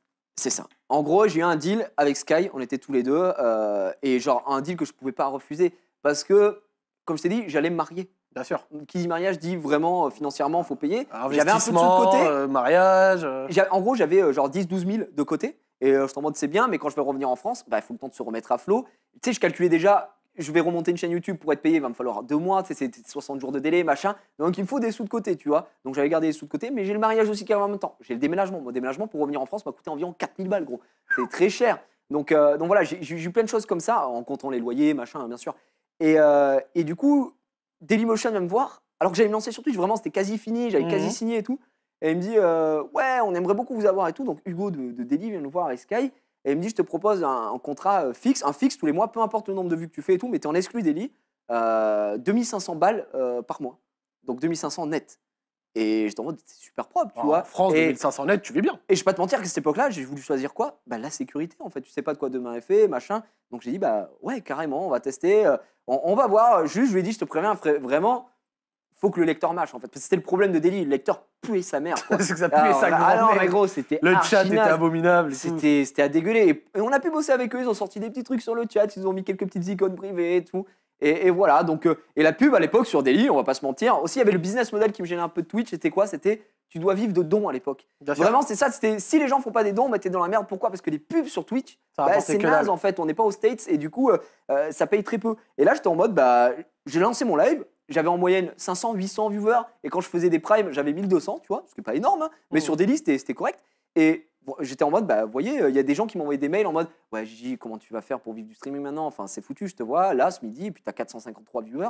C'est mort, tu vois. Et j'étais en mode, ouais, mais genre, je lance Moi, j'ai une un salaire pub et, et c'est par- et c'est parfait. Et puis, j'ai- tu vois, j'étais rémunéré avec les pubs, plus mon salaire fixe. Je disais, t'inquiète pas pour moi. Et tu sais, ça me faisait. C'était pas des gens qui étaient euh, Méchant. méchants, c'est vraiment des gens qui étaient euh, bienveillants, qui me disaient, euh, ouais, ça va aller et tout. Je disais, mais les gars, vous inquiétez pas, machin, il y a aucun souci. Pour moi, tout marche très bien. En plus, Euh, c'était vraiment le voilà. passage Twitch de tout le monde. Il y avait eu PA qui était tout le monde partait sur Twitch et je dis mais c'est quoi les deux trisos qui partent sur Twitch? Et je veux même je vais pas te mentir que même si j'avais le fixe et tout je regardais les gens sur Twitch je disais putain les bâtards j'ai voyé à 4K viewers machin et j'étais en mode euh, ah, peut-être que j'aurais pu faire pareil j'en sais rien mais j'ai choisi une sécurité j'ai fait mon choix Non, mais c'est un choix assumé. hein. tu vois Le Et- mariage, pour toi, c'était un choix. C'était genre, c'est venu naturellement? ouais bah c'est surtout ma femme je vais pas te mentir c'est plus un truc de, de meuf je pense euh, vraiment qui voulait à tout prix et j'étais en mode bah je vois pas de problème à me marier Bien euh, sûr.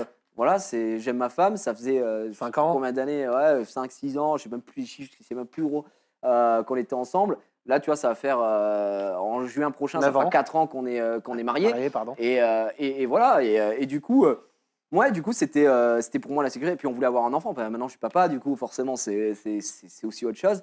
Et, euh, et cette sécu, elle a bien fonctionné. Et là, en fait, si tu veux, je parlais avec beaucoup avec B-Boy, tu vois. Mhm. B-Boy, euh, et euh, qui est devenu vraiment un pote, c'est un ami. Tu vois, c'est pas un pote, c'est un ami. Ouais. Peux l'appeler à 4h Un du matin, je suis proche, malade, il vient chez moi, il vient m'aider, tu vois. Et, et il m'a dit, ouais, tu cherches à être plus proche de Paris? J'ai dit, ouais, parce que j'ai discuté avec Squeezie. Squeezie m'avait proposé le projet de le stream.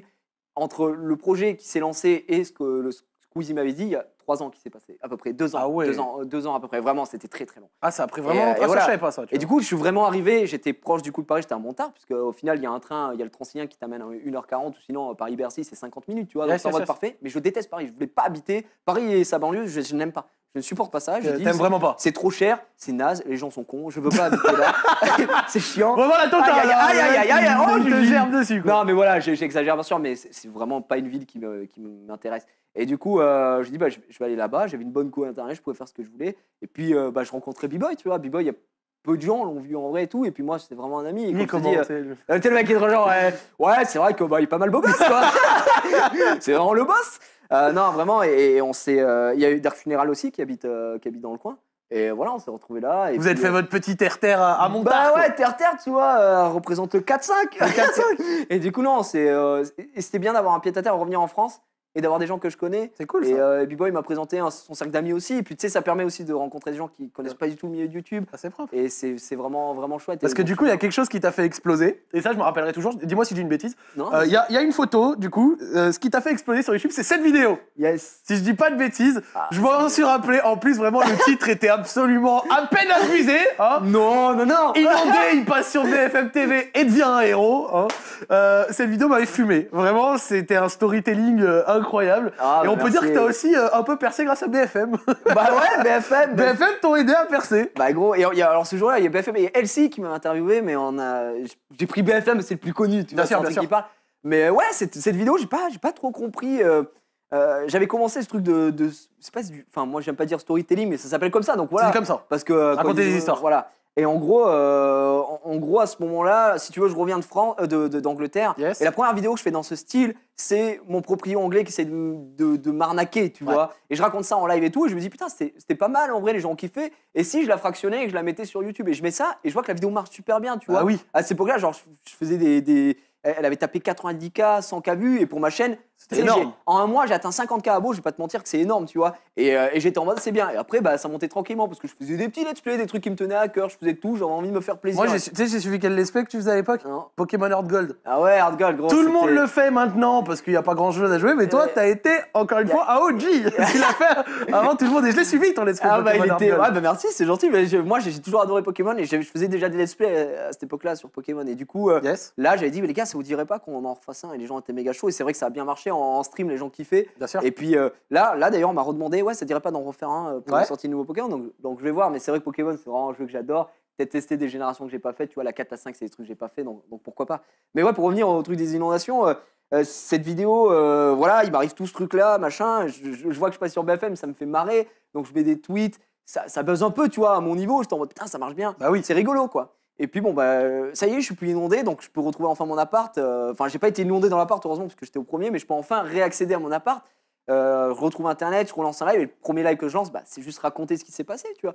Et voilà, sans, sans exagérer, tout ce qui s'est. Non, mais vas-y, Voilà, dis, les choses comme elles sont. Non, mais je veux dire, tout ce que je racontais, il n'y a eu aucune exagération là-dedans. Tout s'est vraiment passé, euh, forcément.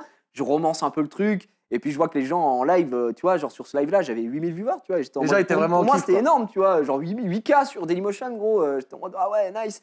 Et euh, voilà, je décide de, de- de fractionner le truc encore. Je sors la vidéo. Ouais. Et puis je me souviens, je me souviens toute ma vie parce que, enfin toute ma vie, pas exagère non plus, mais c'est une vidéo qui m'a marqué forcément puisqu'elle a buzzé de ouf.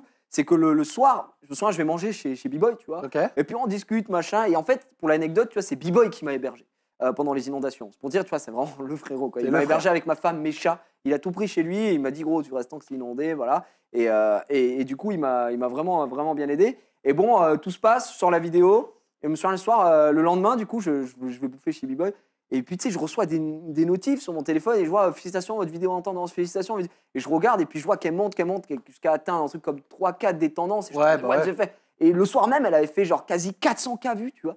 Et je mode, mais c'est pas. What the fuck tu Toi, t'étais vraiment t'étais tu sonné, quoi. Ouais, j'étais- j'étais choqué, j'étais en mode, mais c'est bizarre, tu vois. Et, euh, et bref, je, je check, je me dis, bon, bah, c'est cool, elle a bien marché. Et en une semaine, une semaine, je prends 70 000 abos sur la chaîne. Une semaine, j'ai pris 70K abos sur la chaîne. La folie, ça arrive. Ah ouais, la folie, tu sais pourquoi? Parce que à ce moment-là, je me souviens, je fêtais, avant que je la sorte, j'ai dit, ah, merci, vous êtes 100 000 sur la chaîne. T'es arrivé à 200K. Deux euh, semaines après, j'étais à 200K, gros. ouais, et bah j'étais en folie. mode, what the fuck, mais ouais, je prenais des, des lourds 10K par jour et tout, machin. Et c'était cool. Et ensuite, je me suis dit, bon, bah, c'est, tu vois, faut pas être con non plus. Je faisais sur ça. Donc, est-ce que j'ai des trucs à raconter? Bah, je, je les mets, tu vois. Et euh, bah, toutes les deux semaines, euh, si j'avais un truc, je le sortais. Et ça C'est ce que j'allais dire, regarde, il y, a- il y a un petit screen. Toutes les vidéos qui marchent Ouais, le plus de ta chaîne, c'est à chaque fois plus ou moins un storytelling. Et par contre, il y a quand même quelque chose que je voulais dire, c'est que malgré tout, t'as jamais trop forcé à trou- inventer des histoires, etc. pour avoir... Ouais, c'est ça. Et je vais te dire pourquoi. Je vais te dire pourquoi. Parce qu'à côté de tout ça, quand j'ai sur ta chaîne, ça me fumait. T'avais une vidéo de storytelling qui faisait 500 000 vues. À côté, t'avais Summoner's War. Oh, tout- 54, c'est pourri à tout cané pour les gens qui aiment pas, c'est en mode ouais. le mec arrivait qui, tu qui s'abonnait parce qu'il faut savoir qu'il y a des gens s'abonnaient que pour ça. Bah du oui. coup, et, et juste à côté, genre Simone Session, j'invoque 50 Vélègues. Et les mecs étaient en mode, bah puis sa mère, il fait quoi lui Qu'est-ce qu'il raconte sa vie? Et d'ailleurs, tu, l'as pas lâché, ton Mais- truc Summoner's War et Bah compagnie. non, mais moi j'ai kiffé, j'adore le jeu. Et je joue à un, à un autre jeu qui s'appelle euh, Might and Magic, c'est vraiment la même chose. Et ça aussi, c'est un truc qui m'a beaucoup. J'ai beaucoup d'abonnés, tu vois, qui sont venus sur la communauté mobile et j'ai découvert un autre style de jeu vidéo avec ça, tu vois. Mais si tu remarques bien dans les vidéos qui sont les plus vues, il Yes. y a du storytelling ou pas. Des, des fois, il y a des fonds où c'est juste sur euh, Summoner's War, justement. Et c'est ce qui donne. En fait, Summoner's War, Might and Magic, c'est des jeux où tu farmes. Et donc, quand tu farmes et que tu laisses tourner un truc derrière, bah, tu fais quoi? Tu discutes avec Bah oui. chat. Et ça donnait lieu à, à des trucs où il y a, il y a vraiment il y a 4-5 vidéos où le fond c'est du Summoner's War, tu vois, euh, derrière. Et pourtant, c'est des vidéos qui ont fait 500K vues, 1 million. J'ai beaucoup de vidéos à 1 million, enfin beaucoup de vidéos pour moi, tu vois. Genre la vidéo avec Arthur, elle a fait 1 million. Le PTDRT c'est le truc sorti ça, nulle j'ai part sur jamais Twitter. compris comment elle a buzzé. hein. Moi non plus. Le Et- et- et- PTDRT qui et pour moi, euh, la vidéo, vraiment, what je vous le dis, la PTDRT elle, est- elle est pas ouf. En plus, je la trouve un peu naze parce que j'avais une angine et j'étais malade et j'ai pas pu faire la vidéo comme je voulais, etc. J'ai fait en live parce qu'il fallait le faire. Bien sûr. Forcément, les gens me demandaient des comptes, entre guillemets. Et, et voilà. Le- tu vois, euh, livreur, chronopost et tout, ça, c'est une des rares que j'ai pas fait en live. Moi, moi, ma préférée de toutes celles-là, désolé de t'avoir coupé. Non, il a pas Ma- de souci, Ma préférée, mais vraiment celle que j'ai vue deux ou trois fois. euh, Ah sincèrement. ouais, c'est gentil. Remets le screen, s'il te plaît, Rizzo, désolé. Ma préférée, c'est l'accouchement. je te jure, 32 minutes. Le jour où tu l'as sorti, je l'ai regardé deux fois. Sérieux Donc déjà, deux fois. Et depuis, je la regarde à peu près toutes les deux, trois mois.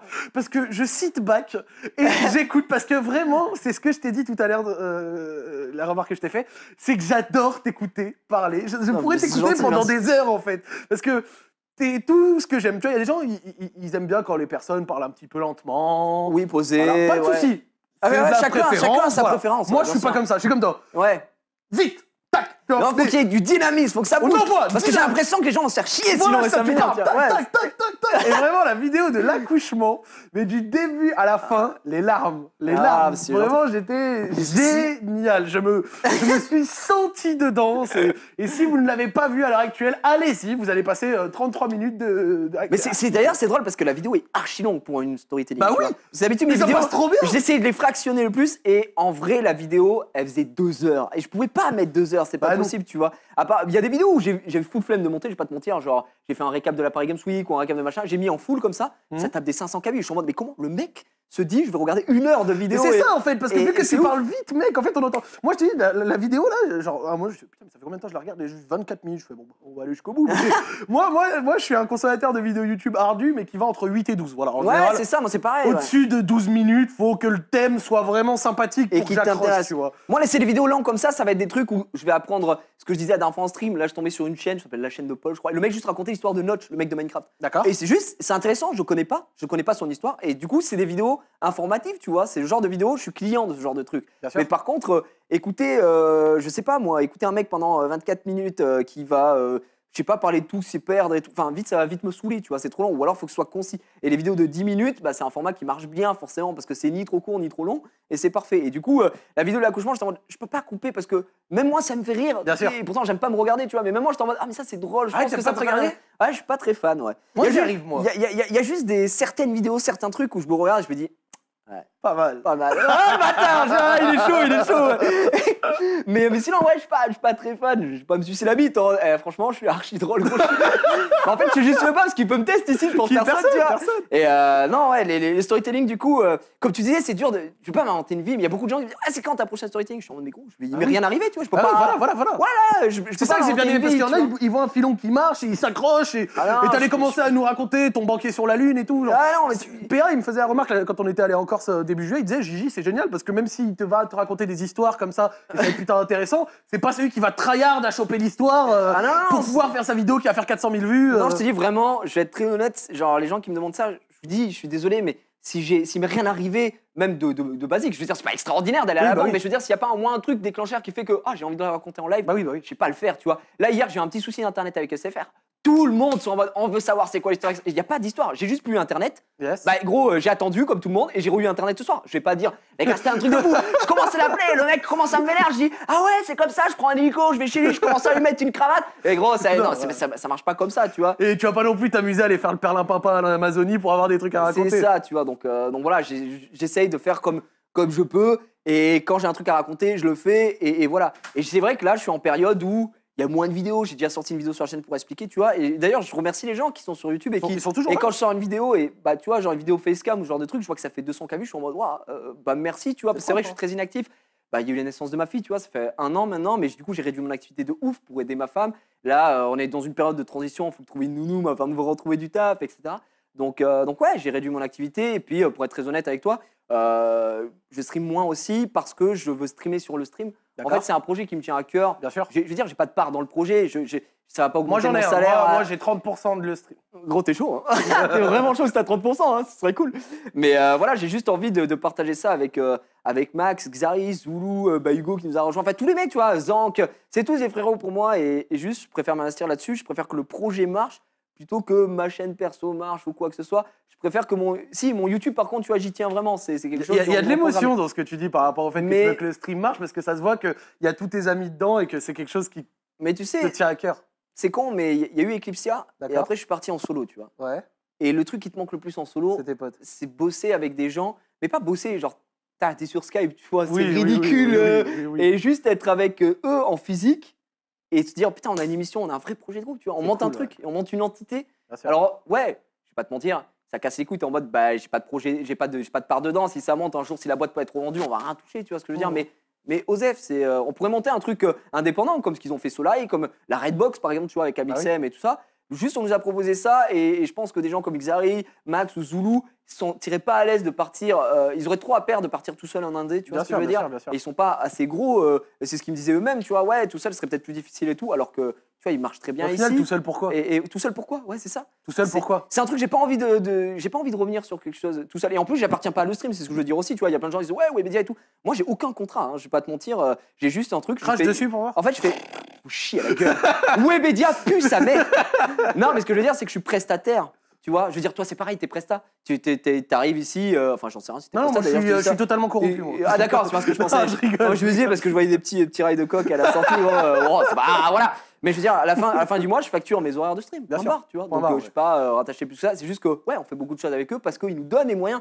Tu sais, toujours, et on a, ouais, le- c'est diable, Webedia, il y a une vidéo de Rurk, tu vois. C'est pour ça que je disais que Rurk, il fait des trucs sur YouTube. J'ai pas trop envie d'en parler parce que ça donne du crédit, tu vois. Mais il y a des trucs qu'il disait, j'étais en mode, ah, Rurk, t'abuses parce que nous, on sait des choses sur toi qu'on ne sortira pas parce qu'on a du respect. Bien sûr. Et tu peux pas dire ça, de te faire passer en victime sur des choses que tu dis ou machin. Et, et- et voilà. Ouais, c'est des points de désaccord. Rurk, je le respecte énormément, toujours aujourd'hui, parce Mhm. qu'il m'a apporté des choses. euh, Il fait que, que tu, je le veuille ou non, aujourd'hui, si je suis ce, que- ce que je suis, C'est grâce m'a donné lui. ma chance aussi. Tu vois, bon, il y a une part de, je pense, de talent, je l'espère au moins.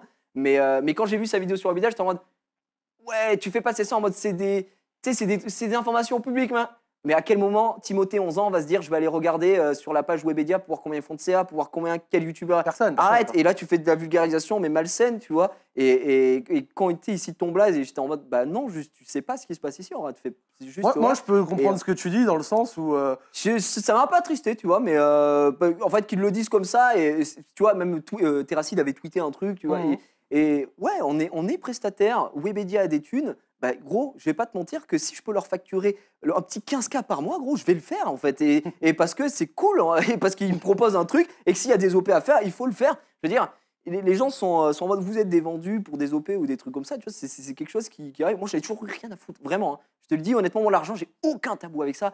Je m'en branle. Là, je vous dis, j'ai une facture qui attend de 15K. La tête de ma mère, ça fait plaisir. Je vais pouvoir acheter des couches à ma fille. Et alors, qu'est-ce qu'il y a? Il y a un problème avec ça? C'est juste que quand tu as une société, quand tu as un truc, bah, ouais, tu, tu, découvres, tu découvres des choses. Je veux dire, si, si je touchais 15K net et que j'étais le boss et je payais pas d'impôts, ouais, je serais un sacré enculé. Mais, et encore, parce que j'aurais bossé pour ça, tu vois. Mais c'est juste que tu as tout, tout- toute la logistique derrière, avoir une entreprise, faut gérer, tu apprends des choses. Et tu vois, c'est compliqué, tu vois. De toute façon, moi, c'est. je suis content. Moi, j'apporte un petit peu la même réponse qu'à ceux qui vont se plaindre euh, que des footballeurs sont trop payés. C'est que, de toute S'il y façon. a des gens qui regardent. Non, non, que mais c'est même pas ça. C'est que de toute façon, cet argent est généré. Oui, Donc, s'il te venait pas à toi pour ton travail, il serait quand même généré. Il irait où?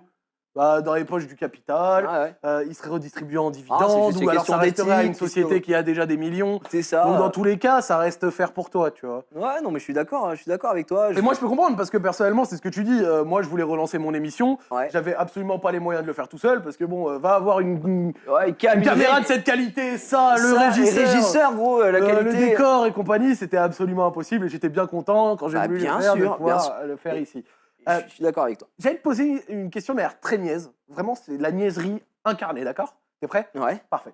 Euh, quand je parle avec des personnes plus âgées sur ce sujet, souvent, elles te disent des choses qui ne te parlent pas. Ouais. Parce qu'elles savent pas s'exprimer directement à toi. Toi, tu as 26 ans, tu as à peine quelques années de plus que moi, on est de la même génération, d'accord? Yes. Et tu as vécu quelque chose que je n'ai jamais vécu, mais que j'aspire à faire un jour dans ma vie, comme beaucoup ici. Sincèrement, gros, ça fait quoi d'avoir un enfant? Bah. Ça- Comment c'est Comment tu le vis? t'as toute la période où ma femme, forcément, est enceinte. Bien hein. sûr. Et, et en fait, tu dis, ah, elle est enceinte. Mais tu sais, tu réalises pas, en fait. C'est un moment où euh, elle est enceinte, ok, tu dis, ouais, je vais avoir un enfant, mais tu, tu, sais, tu réalises pas, tu réalises que le jour où ton gosse est né, en fait. C'est ça, c'est- ça, c'est incroyable. C'est j'ai plein. Même quand tu l'as avec un beat comme ça, tu réalises Ouais, pas vraiment, je t'assure, c'est pas. euh, euh, tu vois, même quand je sentais des coups, tu des fois, à faire attends, elle bouge et tout. Et tu sais, si, ça te fait un truc, bien sûr. Mais tant que tu l'as pas en face de toi, t'étais en mode, ouais, je vais avoir un enfant. Mais sans plus, je sais pas comment expliquer cette sensation-là. Euh, si après, tu as des petites émotions, quand en gros, tu vas chez. Moi, j'ai accompagné ma femme, euh, j'ai fait une vidéo sur ça, euh, le gynéco, tu vois. Et, en gros, il t'annonce le sexe, parce que nous, on voulait savoir le sexe. Et puis, t'entends pour la première fois son cœur battre. Et tu sais, moi, ça m'a. Ça, te fait des émotions, ça te fait, ça te fait quelque chose, quoi. Toi, Et, euh, fille garçon, ça te changeait rien? Non, au tout début, euh, j'étais en mode, bon, ça serait cool d'avoir un petit gars, euh, machin. Il m'a dit que c'était une fille, et en vrai, je suis content d'avoir une fille. Je suis Bah très oui. heureux, c'est ma petite princesse. Euh, donc, euh, donc voilà, non, moi, je suis, je suis super heureux. Et, mais par contre, quand elle est née, bah, ce que je dis, tu sais, dans la vidéo d'accouchement, c'est le temps s'arrête, en fait. Et tu Bien te sûr. dis, waouh, en fait, il y a une personne de plus dans ma vie, mais c'est chaud. Et elle, est- et elle est à ta charge. Et, ouais, ouais, et puis c'est tu c'est ton sang, quoi. Tu Ah vois ce que je veux dire? Et du coup, tu te dis, bah, elle est à ma charge et je peux pas. euh, tu sais, tu peux plus faire le con comme avant, euh, des conneries. Ou, tu sais, quand quand t'as une famille qui t'attend à la maison, tu sais, tu peux plus te permettre des choses. euh, Ah oui. Des, des choses débiles ou euh, comme quand t'étais jeune, je dis pas. euh, Par exemple, il y a conneries. quoi que tu, ne, f- que tu ne fais plus maintenant, mais que tu faisais par exemple de temps en temps avant? Si t'as pas de trucs qui viennent à la tête, Non, en vrai, en vrai, je t'avoue, j'ai rien, mais, mais tu sais, quand je conduis, euh, Yes. bah, je fais gaffe, tu vois. Je me dis, euh, non, et pour moi, tu vois, je- je- déjà, je, je ne bois jamais, pas une seule goutte d'alcool. Tu si je bois le jamais, toi? Non, non, non, non, non, non, je bois, je, je bois, je suis un, je suis un, je suis un. Hein, je, gros, je, me, je me démonte mes grands morts. Mais euh, non, non, non. Mais on peut être honnête, on peut être honnête. On a tous fumé de la weed un jour, on a Ah tous, oui. tu vois, voilà. Ah oui. Zach le premier, il s'arrache gros tous les soirs, euh, je vais pas vous mentir. Moi, franchement, vous, eh, si vous, parlez- vous pouviez parler de manière un peu privée à des youtubeurs sur. Zach, il est un peu comment Pas très beau. non mais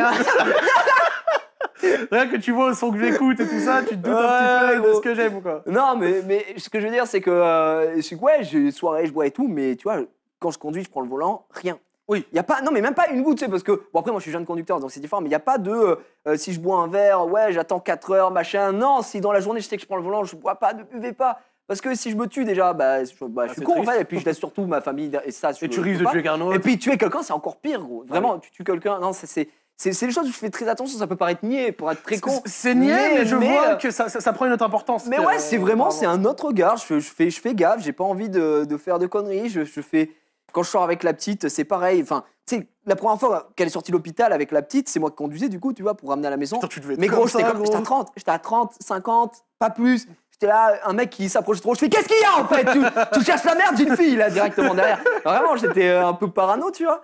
Et euh, non, je fais, je fais super gaffe. euh, je suis un peu plus responsable. Après, bah, ça m'empêche pas de rester moi-même, tu vois. Je, je veux dire des conneries, je veux dire les conneries. Je veux dire merde en stream, je dis merde en stream, tu Bien vois. sûr, bien sûr. Je m'en fous, ça va pas Ça, manger ça ma mentalité. Tu sais, des fois, quand ils disent, euh, tu sais, t'as des gens, ils me disent, ah ouais, le mec fait une vidéo, euh, il fait des blagues, euh, machin, super, et ce mec-là est papa, quoi. Et je suis en mode, bah ouais, connard. même, enfin. même, même Michael Youn, il a des gosses. hein. Et Non, lui, mais ouais, lui, c'était morning live avec le cul euh, pas. Ouah avec Non, le mais cul à si- si Baba a des gosses. tu vois ce que je veux dire? Non, voilà, c'est juste, c'est débile. Mais ouais, je, je fais plus attention un peu à tout. euh, je suis plus, je suis plus éco-responsable, quoi. On va pas se mentir. Maintenant, Ouais, tu tritais des déchets? Absolument pas. Je ne fais ça. rien à foutre, rien à branler. Rien à foutre. Gros, je mets les couches avec le verre, euh, rien à foutre, gros. Pour moi, Et le plastique, merde. euh, ouais. le sandar. Mais par contre, être papa, tu vois, ça te change. Là, je suis, en ce moment, je suis période, je suis dans la Yes Life, tu vois. Je me lève Yes. à 8h, je me couche à 11h30. C'est ce que tu as tweeté l'autre Ah ouais, jour. vraiment, euh. vraiment. Et je trouve ça mieux, c'est plus sain. euh, forcément, enfin, c'est logique, mais, mais bon, tu sais, dans notre métier, on se coucher à 3-4 heures, on s'en fout, on se lève à 11h, midi. euh, voilà, après, tu fais tes créneaux de live, t'es tranquille. Mais là, revenu du Japon, je me suis recalé et je suis en mode, euh, ouais, je préfère, euh, je préfère me lever tôt le matin. J'ai tourné une vidéo, tu vois, à 11h pour la chaîne. Là, j'étais en mode, waouh, je sais pas ça. Ça aurait pu être à 11h du soir normalement, tu vois, mais là, je l'ai fait le matin et, et c'est cool. Donc, euh, donc ouais, et forcément, j'ai de ma femme pour, bah, pour ce qui tâche avec la petite, c'est normal, tu vois. J'ai mon petit jour. Comme elle travaille pas, je dis, bon, bah, sais, occupe-toi de la petite le matin. Le vendredi, c'est mon jour. Mais voilà, comme elle bo- en semaine, tu vois. Après, le samedi, dimanche, c'est différent puisque je, je bosse pas, on s'occupe tous les deux, machin. T'es souvent mais je lui dis, euh, euh, non, le mardi et mercredi ou le mercredi, une semaine sur deux, j'alterne, tu vois. D'accord, d'accord. Et puis, bah, là, je suis venu parce qu'un frérot m'a demandé de venir, tu vois, c'est normal. Merci. Mais, euh, mais euh, ouais, de temps en temps, ou pour des OP qui peuvent arriver en week-end, ou ce genre de choses, ouais, je, je vais venir. Mais, euh, mais sinon. Mais t'es quand euh, même assez souvent, du coup, aux côtés de ta famille. Ouais, ouais, bah, tu sais, le week-end, généralement. Après, moi, j'ai des events et tout, tu vois, mais, euh, mais voilà, j'ai- j'aide comme je peux à mon niveau. T'apprends à être papa, en fait. Ça doit être énervé d'avoir sa propre maison, non? Ouais, gros, j'ai acheté. devais être trop content. Je suis trop content. Je suis trop content parce que c'est un truc, ce que je disais, tu peux pas. Sur Paris, j'aurais peut-être pas pu. tu. Non, t'aurais absolument pas pu. Pas- Enfin, si j'étais solo, ouais, je pense que j'aurais pu. Mais, mais ma femme n'a pas de salaire. Ce que je dis, tu sais, elle, a- Ouais, elle elle eu de gros problèmes de santé, etc.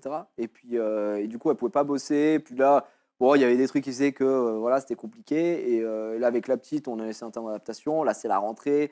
Là, elle cherche du boulot et tout, donc euh, tant mieux. Mais tu sais, quand tu as fait le prêt et que tu es en mode, bah, je suis seul salaire, j'ai un- je suis marié, j'ai un enfant à charge. C'était difficile de, l'obtenir le prêt? Ouah, c'était ouais, c'était complexe, mais en gros, je suis chez. On va faire de la pub pour la banque. Allez. C'est So- Société Générale et il se trouve que le, le- le- mon, mon conseiller pro, en fait, je lui ai- c'est que des concours de circonstances. C'était l'an dernier, je reviens de l'E3, je lui dis que je reviens de Los Angeles. Il me dit Ah ouais, j'adore les États-Unis, on discute, machin, c'est mon conseiller pro, donc ça, tu sais, on s'entend bien et tout. C'est un petit vieux, enfin, il part bientôt à la retraite et tout. Et puis, euh, je lui dis, ouais, j'ai fait une vidéo, euh, tiens, j'étais dans la villa de Justin Bieber, c'était drôle, machin.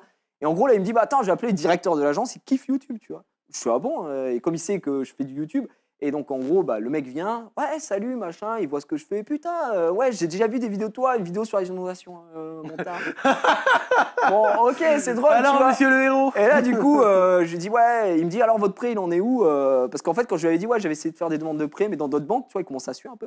Et il m'a dit, non, mais et votre prêt, du coup il voulait avoir des infos. Je lui dis, ah, vous savez, c'est compliqué avec ma situation et tout. Il fait, bah non, moi, je vois vos comptes, ça se passe bien, vous êtes quelqu'un de sérieux, il n'y a jamais eu de découvert, voilà. Vous êtes client chez nous en perso aussi depuis pas mal de temps. Elle me dit, bah non, mais moi, si vous voulez, je le fais, votre prêt. Et j'étais en mode, sérieux Et il me dit, dans ta ouais. tête, t'étais comme Et ça. là, gros. quand je commence à le check comme ça, je fais, eh, Roya, ça fait plaisir. et on commence à se Tu faire me la sors de bise. la haine. ah, ça fait super plaise. Et du coup, euh, non, il m'a mis, il m'a mis super bien. Et voilà, j'ai acheté une maison. Je t'ai dit, gros, euh, 100 mètres carrés sur 500 mètres carrés de terrain. À Paris, ça, je sais pas. Déjà, les maisons, ça n'existe pas à Paris, mais en banlieue et tout, ça coûterait une blinde. J'ai payé 150K, tu vois. Et euh, 150K pour une va. maison. Mais non, mais c'est rien. Et je suis Ça fibré. va. J'ai la fibre.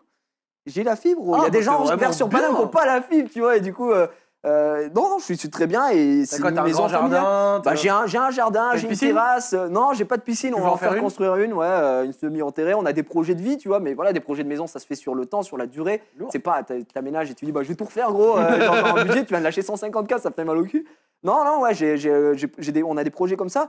J'ai, j'ai un, un garage, vraiment le daron, tu sais, la maison de daron, tu rentres. C'est grand salon séjour, tout ouvert. Je suis en mode, qu'est-ce qu'il y a Qui peut me tester ici J'arrive, je fais OK Google, allume la lumière, tac, tac. Ah ouais, tu l'as, Elle la m'allume la lumière, je fais OK Google, allume Netflix, boum, elle met Netflix sur la télé, il y a un problème, je Et me fais pépon par Google. Il y a, il y a un problème, deux chiottes, gros, deux chiottes. Si je veux chier en haut, je peux. Et ma femme peut pisser en bas. Il y a un problème Ouais, gros, et j'ai trois chambres. Un, C'est c'est genre full interactif, quoi. C'est full interactif. Ah ouais, je touche ma porte comme ça, elle s'ouvre toute seule. Euh, Non, c'est connerie ça. Genre, t'arrives, Google, serre-moi un whisky.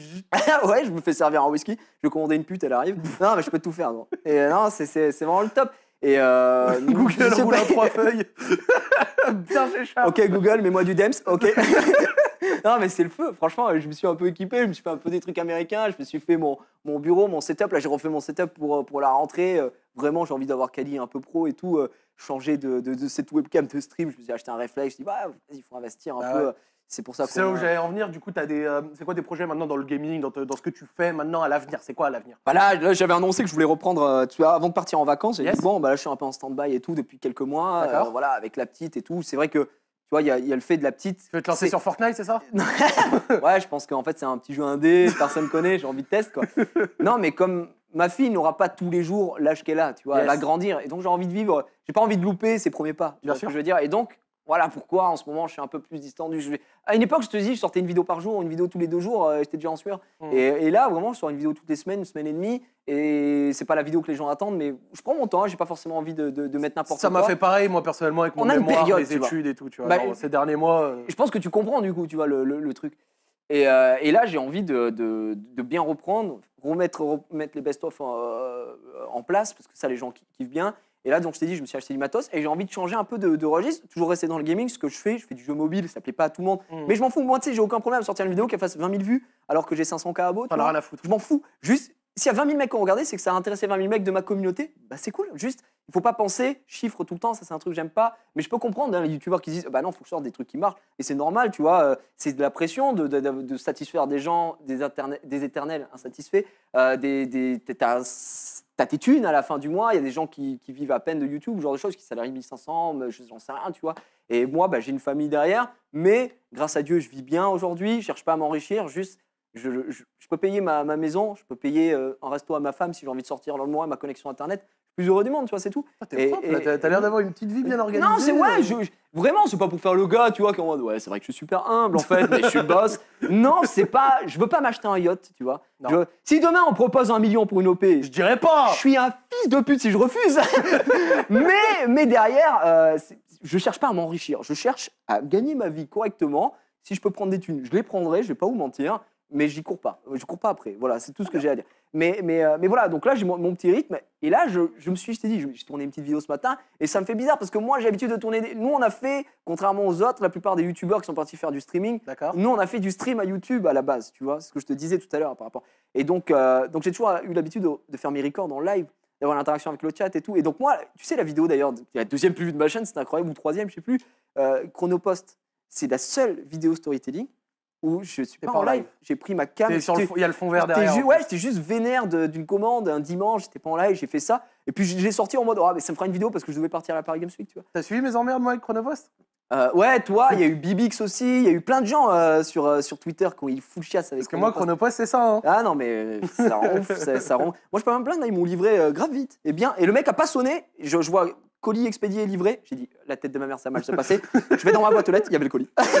j'étais en mode, je l'ai checké. Euh, T'étais J'ai checké à distance, j'étais heureux. Bon. Donc, euh, non, voilà. Et voilà, mes projets, c'est bah, toujours du gaming et essayer de partir sur un peu plus d'IRL. Ok. Euh, mais pas de l'IRL, euh, tu vois, moi je suis pas le genre de mec à me vloguer Oui, dans la pas rue et tout, je pas. Mais, euh, mais plus d'IRL, euh, bah, de faire du facecam, ça c'est un truc que je kiffe, raconter des trucs, même sans rencontrer du storytelling, mais juste être avec un gars. Tu vois, Yes. comme ça, tu vois, un Bien sûr. échange. Et c'est un truc que je kiffe. J'aimerais réinstaurer des petites libres antennes aussi, tu vois, ce genre de choses Top. sur des sujets. Et puis l'avenir nous dira, tu vois. On verra. Bah écoutez, les amis, on arrive à la fin. Je crois qu'on a même Ah, un petit peu euh, débordé, j'en sais rien, mais Ah bah, j'ai absolument pas vu. 19h46 19h46, Ah, j'ai absolument pas vu le temps passer. Je m'excuse des problèmes euh, bah, du début euh, de son. Je suis désolé, je ne gère pas ça, malheureusement, je ne suis pas technique. Par contre, je vais insister pour que à la rediff, donc si vous voyez la rediff là, vous ne serez pas concerné, euh, ils montent le début où j'ai bien parlé et tout ça, et les trucs comme ça, ça fait une rediff bien propre, d'accord? Vous inquiétez pas, je vais insister, la rediff sera propre. C'est la fin de ce Zach roue libre, euh, épisode 7 de la saison d'été. J'espère que vous avez kiffé, que vous avez passé un bon, bon euh, moment sur cet épisode. Je te remercie, Gigi. Ah ouais, je te remercie pour l'invite, gros, c'était super. J'ai adoré l'émission. Je la regarde, donc euh, passer dedans, ça me fait un petit truc aussi. Bah, ça me fait mentir. vraiment super plaisir, Gigi. Je vous Merci. remercie de tous vos messages de félicitations pour mon diplôme. Moi, je suis bien content. hein. Du coup, je bravo, suis- gros, hein, le boss. le diplôme. et- Oh, je suis très content, vraiment. Ça, vous vous doutez pas le bonheur. Il que a un master, les gars. C'est le master, quoi. Je suis Yes je vous remercie. J'espère que vous avez passé un bon moment. On va vous laisser avec le reste de la soirée sur le stream. Je vous donnerai des informations très rapides, mais je vous confirme malgré tout que Zach libre, ça continue. Yes Ça continue. Ça reprendra pour la saison d'automne avec des nouveaux invités, nouveaux formats, expéditions spéciales. Tout ça, tout est dans ma tête. Je vous souhaite une belle soirée. Merci à tous. Ciao, ciao.